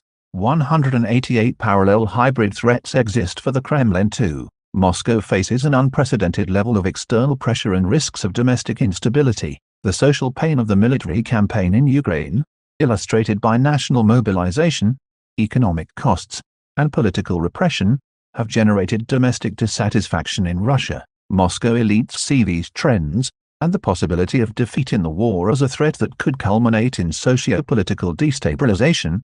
189 Facing such a plethora of peril, Moscow and Tehran's security elites are agreed on a vast domain of shared threat that can render states insecure and vulnerable. 190 The leaderships, therefore, prioritize regime security and stability over developmental, economic, or trade goals, concluding that cooperation with like-minded states can serve such an outcome. Moscow and Iran have adopted at least four strategies to implement their protective integration. First, Russia's war against Ukraine has generated mutual political solidarity and strategic sympathy. The Islamic Republic's leadership views Moscow as a fellow victim of Western expansionist policies and share Putin's so-called anti-hegemonic rationale against the U.S.-Iran supreme leader, Ayatollah Ali Khamenei, told Vladimir Putin, in a show of sympathy during his trip to Iran in July 2022, that NATO would have started the war if the Russian president had not taken the initiative. 191 later, Ali Akbar Velayati, chief foreign policy advisor to Iran's supreme leader, expanded Khamenei's view, saying, NATO broke its post-Cold War commitment to Russia to keep former Soviet republics as a buffer zone and avoid NATO expansion to these areas. Russia has announced its red lines several times, 192 in Moscow. Meanwhile, the Kremlin now better understands the two decades-long challenges of the Islamic Republic's direct confrontation with the West. Russia's March 2023 concept of foreign policy offers a blueprint for resisting international pressure and countering hegemony in international relations, which sets the baselines of Russian strategic sympathy towards Iran, the dominance of military security elites in the foreign policy decision-making of both capitals, and their institutionalized contacts stemming from collaboration in Syria since 2015, has helped to create this solidarity. United Western support for Ukraine has merely reinforced it. Sympathy and the mirroring of each other's political positions are also reflected in the two countries' media and public policy. In contrast to its criticism of the US's invasions of Iraq and Afghanistan, the Iranian media avoids any critical discussion about the Russian invasion of Ukraine, while Russian media have boosted the former's propaganda, in praising the Islamic Republic's resistance to unjust Western pressures. In October 2022, the Russian news agency and Radio Sputnik signed an agreement with Iran's state television and radio to show unity of goals and objectives to respond to common challenges that Russian and Iranian media face in the era of information wars. 193. Second, both capitals have deepened their knowledge exchanges, policy learning procedures, and intelligence sharing in the field of regime survivability. Such learning facilitates the sharing of tactics and strategies used to guarantee regime survival. 194 One example is when Moscow transmitted its advice to Iranian authorities in September 2022 on the best practices in punitive measures and trained paramilitary Basij forces for suppressing domestic protests. 195 On the 25th of April 2022 the Iranian government approved an agreement paving the way towards establishing a joint coordination mechanism for information exchange and monitoring cybersecurity threats, joint training, and mutual provision of technical assistance. 196 On the non-security fronts, Russia has sought to learn from Iran's successful experience and knowledge of circumventing sanctions. In the words of a Kommersant commentator, Iran can teach Russia the art of parallel import and gray zone operations. 197 these efforts resulted in a security agreement between the two countries' national security councils in April 2024. Third, the war has shifted old patterns of security assistance 198. and generated a new era characterized by mutual provision of security assistance, unable to countenance, nor afford, Putin's defeat in Ukraine, Tehran 199, hence decided to deliver drones to Russia in its hour of need for Iranian-made weapons. In return, Tehran seeks Russian transfers of high-tech military hardware, such as the Su-35, and, most importantly, of know-how and technology in critical areas such as satellites, air defense, supersonic missiles, and information, surveillance and reconnaissance. Russia's collision with the West presents Tehran with the opportunity to push for new models of military cooperation that include joint production and greater exchange of lessons learned. Iran has a production capability and alternative operational concepts. As illustrated in the case of its Shahed drones, Russia might need these over time and can reciprocate by providing technology. Joint production on this basis is gaining traction in areas such as drone and anti-ship missiles. Fourth, Russia and Iran have attempted to shield each other from international isolation and punishment, showcased by Putin's travel to Tehran in July 2022. In the context of the Astana peace process, Moscow sees its ties with Tehran as a step towards breaking out of isolation, showing that it has remained a valuable partner for regional powers in the global south. In addition, both sides see mutual support in multilateral forums as an important way to resist the West and thus have notably increased their coordination in such fora. For Iran in particular, Russia's veto power in UNSC is a critical tool in neutralizing Western threats. In one case, regarding efforts to revive the Joint Comprehensive Plan of Action, JCPOA, the Russian position tilted towards Tehran's stand after the outbreak of war, and Moscow began portraying the USA as the sole cause of the nuclear crisis. Mikhail Ulyanov, Russian ambassador to international organizations in Vienna, reflected Tehran's view when he said, United States' maximum pressure policy against Iran has no credible peaceful purpose. It was the main reason which compelled Iran to start 60% enrichment of uranium. 200 greater degrees of interdependence, the protective logic has generated political willingness for the division of labor and resources that contributes to a greater degree of interdependence between Moscow and Tehran. The war in Ukraine has fostered more favorable conditions for such an interdependence, for several reasons. First, the global condemnation of the Russian war in Ukraine has reduced Putin's options for partnership with the West for the foreseeable future. The Kremlin's readiness to strategically boost ties with Tehran emerged only after Moscow found itself in a state of international isolation similar to that of Iran, and discovered new benefits in working with Tehran. Second, Limited cooperation appeared costly for both sides. Urgency imposed the immediate and visible costs of non-cooperation, thus creating incentives for long-term partnerships. Third, and most importantly, the war in Ukraine changed the power dynamic between the two states. Russia struggles to hold a dominant position in its relationship with Iran due to the war's exhaustion of its resources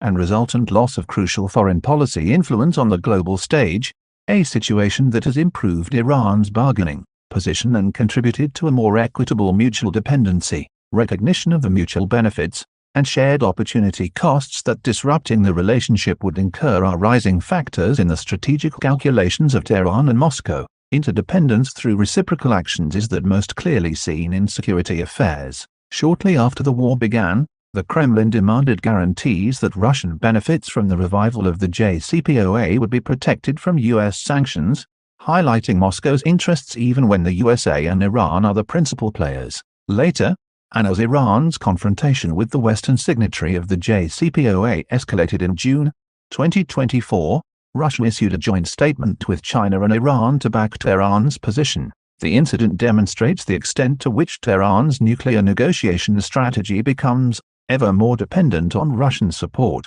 In the military domain, Iran's assistance has become an important factor in sustaining certain aspects of Russian offensive military strategy, especially its long-range strike capability, having enabled Russia to hit Ukrainian infrastructure while depleting Ukraine's missile defense stockpiles. On regional issues, the war has deepened the dependency of Russia's Syria policy on Iran. A new division of labor emerged whereby Iranian-backed forces, took charge of confronting radical militants and maintaining a pro-Assad position, while Russia's focus was along the Mediterranean, to protect its assets in Syria. This situation allowed Iran more operational leeway to boost al-Assad's air defense capabilities for countering Israeli strikes. The war has also accelerated economic interlinkage. Russia rose to the apex of foreign investors in Iran in 2023 with $2.7 billion, equal to 31% of total foreign investment, while Iran's exports to Russia increased by over 20% in both volume and value the two countries prioritized initiatives that put into force a regime of trade and economic cooperation that can offset Western sanctions and resolve structural limits to trade. But as Iran's ambassador to Moscow acknowledges, there are barriers of cognition, transit, logistics, monetary, banking, and customs problems that limit the expansion of bilateral relations, 201 since the war's outbreak. Businesses and intergovernmental contacts have witnessed an unprecedented surge that will have long-term effects in closing the cognitive gaps between the two sides. Moscow and Iran set up de-dollarization as one of the first priorities, and have finalized interbank cooperation agreements that enable trade in local currencies rather than the US dollar. Traders can hence now use non-SWIFT interbank systems, while major joint projects are defined to resolve remaining technical difficulties. The two sides also signed a $40 billion memorandum of understanding between Gazprom, and the National Iranian Oil Company. By the end of 2023, Russian companies had finalized contracts for the exploration of eight oil fields, with a total value of $5.4 billion. Joint production of oil and gas instruments and petrochemical product and energy swaps emerged as other areas of cooperation. Iran's signature of an FTA with the Eurasian Economic Union, EAEU, and the North-South Transit Corridor, NSTC, are probably the most critical efforts expected to expand economic integration between Russia and Iran. In December 2023, the EAEU and Iran signed a full-scale FTA encompassing over 8,000 products, which can hugely facilitate trade between Iran and Russia, as evidenced by an earlier Iranian preferential trade agreement with the EAEU. Such agreements have had a major impact on mutual trade. 202 The new far more comprehensive FTA is expected to mitigate to some extent the adverse macroeconomic effects of Western sanctions and boost Russia-Iran trade in the coming years more than any other single initiative. By the end of 2023, Russian transit through Iran increased fourfold to reach 600,000 tons, and Moscow plans to increase this volume to 10 million tons through the inception of the NSTC. In May 2023, Moscow signed a $1.6 billion contract with Tehran to complete the Astara-Rasht railway project, the most important unfinished segment of the NSTC, which would connect Russia to the Persian Gulf and India. Upon the war's outbreak, transit through the sea-based segment of NSTC, which links Iran and Russia directly through the Caspian Sea and the eastern segment of NSTC bypassing Turkmenistan, also expanded. Transit through the NSTC doubled in the first quarter of 2023, and Iran is seeking to form a joint international management mechanism for the NSTC with Russia and India. Conclusion As long as normalization with the West remains elusive and the current threat structure endures, Moscow and Tehran's policies will continue to converge. In the eyes of Khamenei and Putin, similar threats make them natural allies that must pool resources to protect themselves. This is the core logic behind the protective integration emerging between the two states, conflicting interests and serious obstacles originating in social, strategic, institutional, and international issues scaled down advancements towards building a more strategic partnership. So far, these limits have not been able to alter a general trend of deepening relations. 203 However, in the longer term, the direction of bilateral ties and sustainability of current thinking are conditioned to changes in at least six variables. 1. Deliverables and actual benefits that closer ties can bring to each side remain the fundamental motivation behind future decisions, given the two states' pragmatic and transactional approach to politics. 2.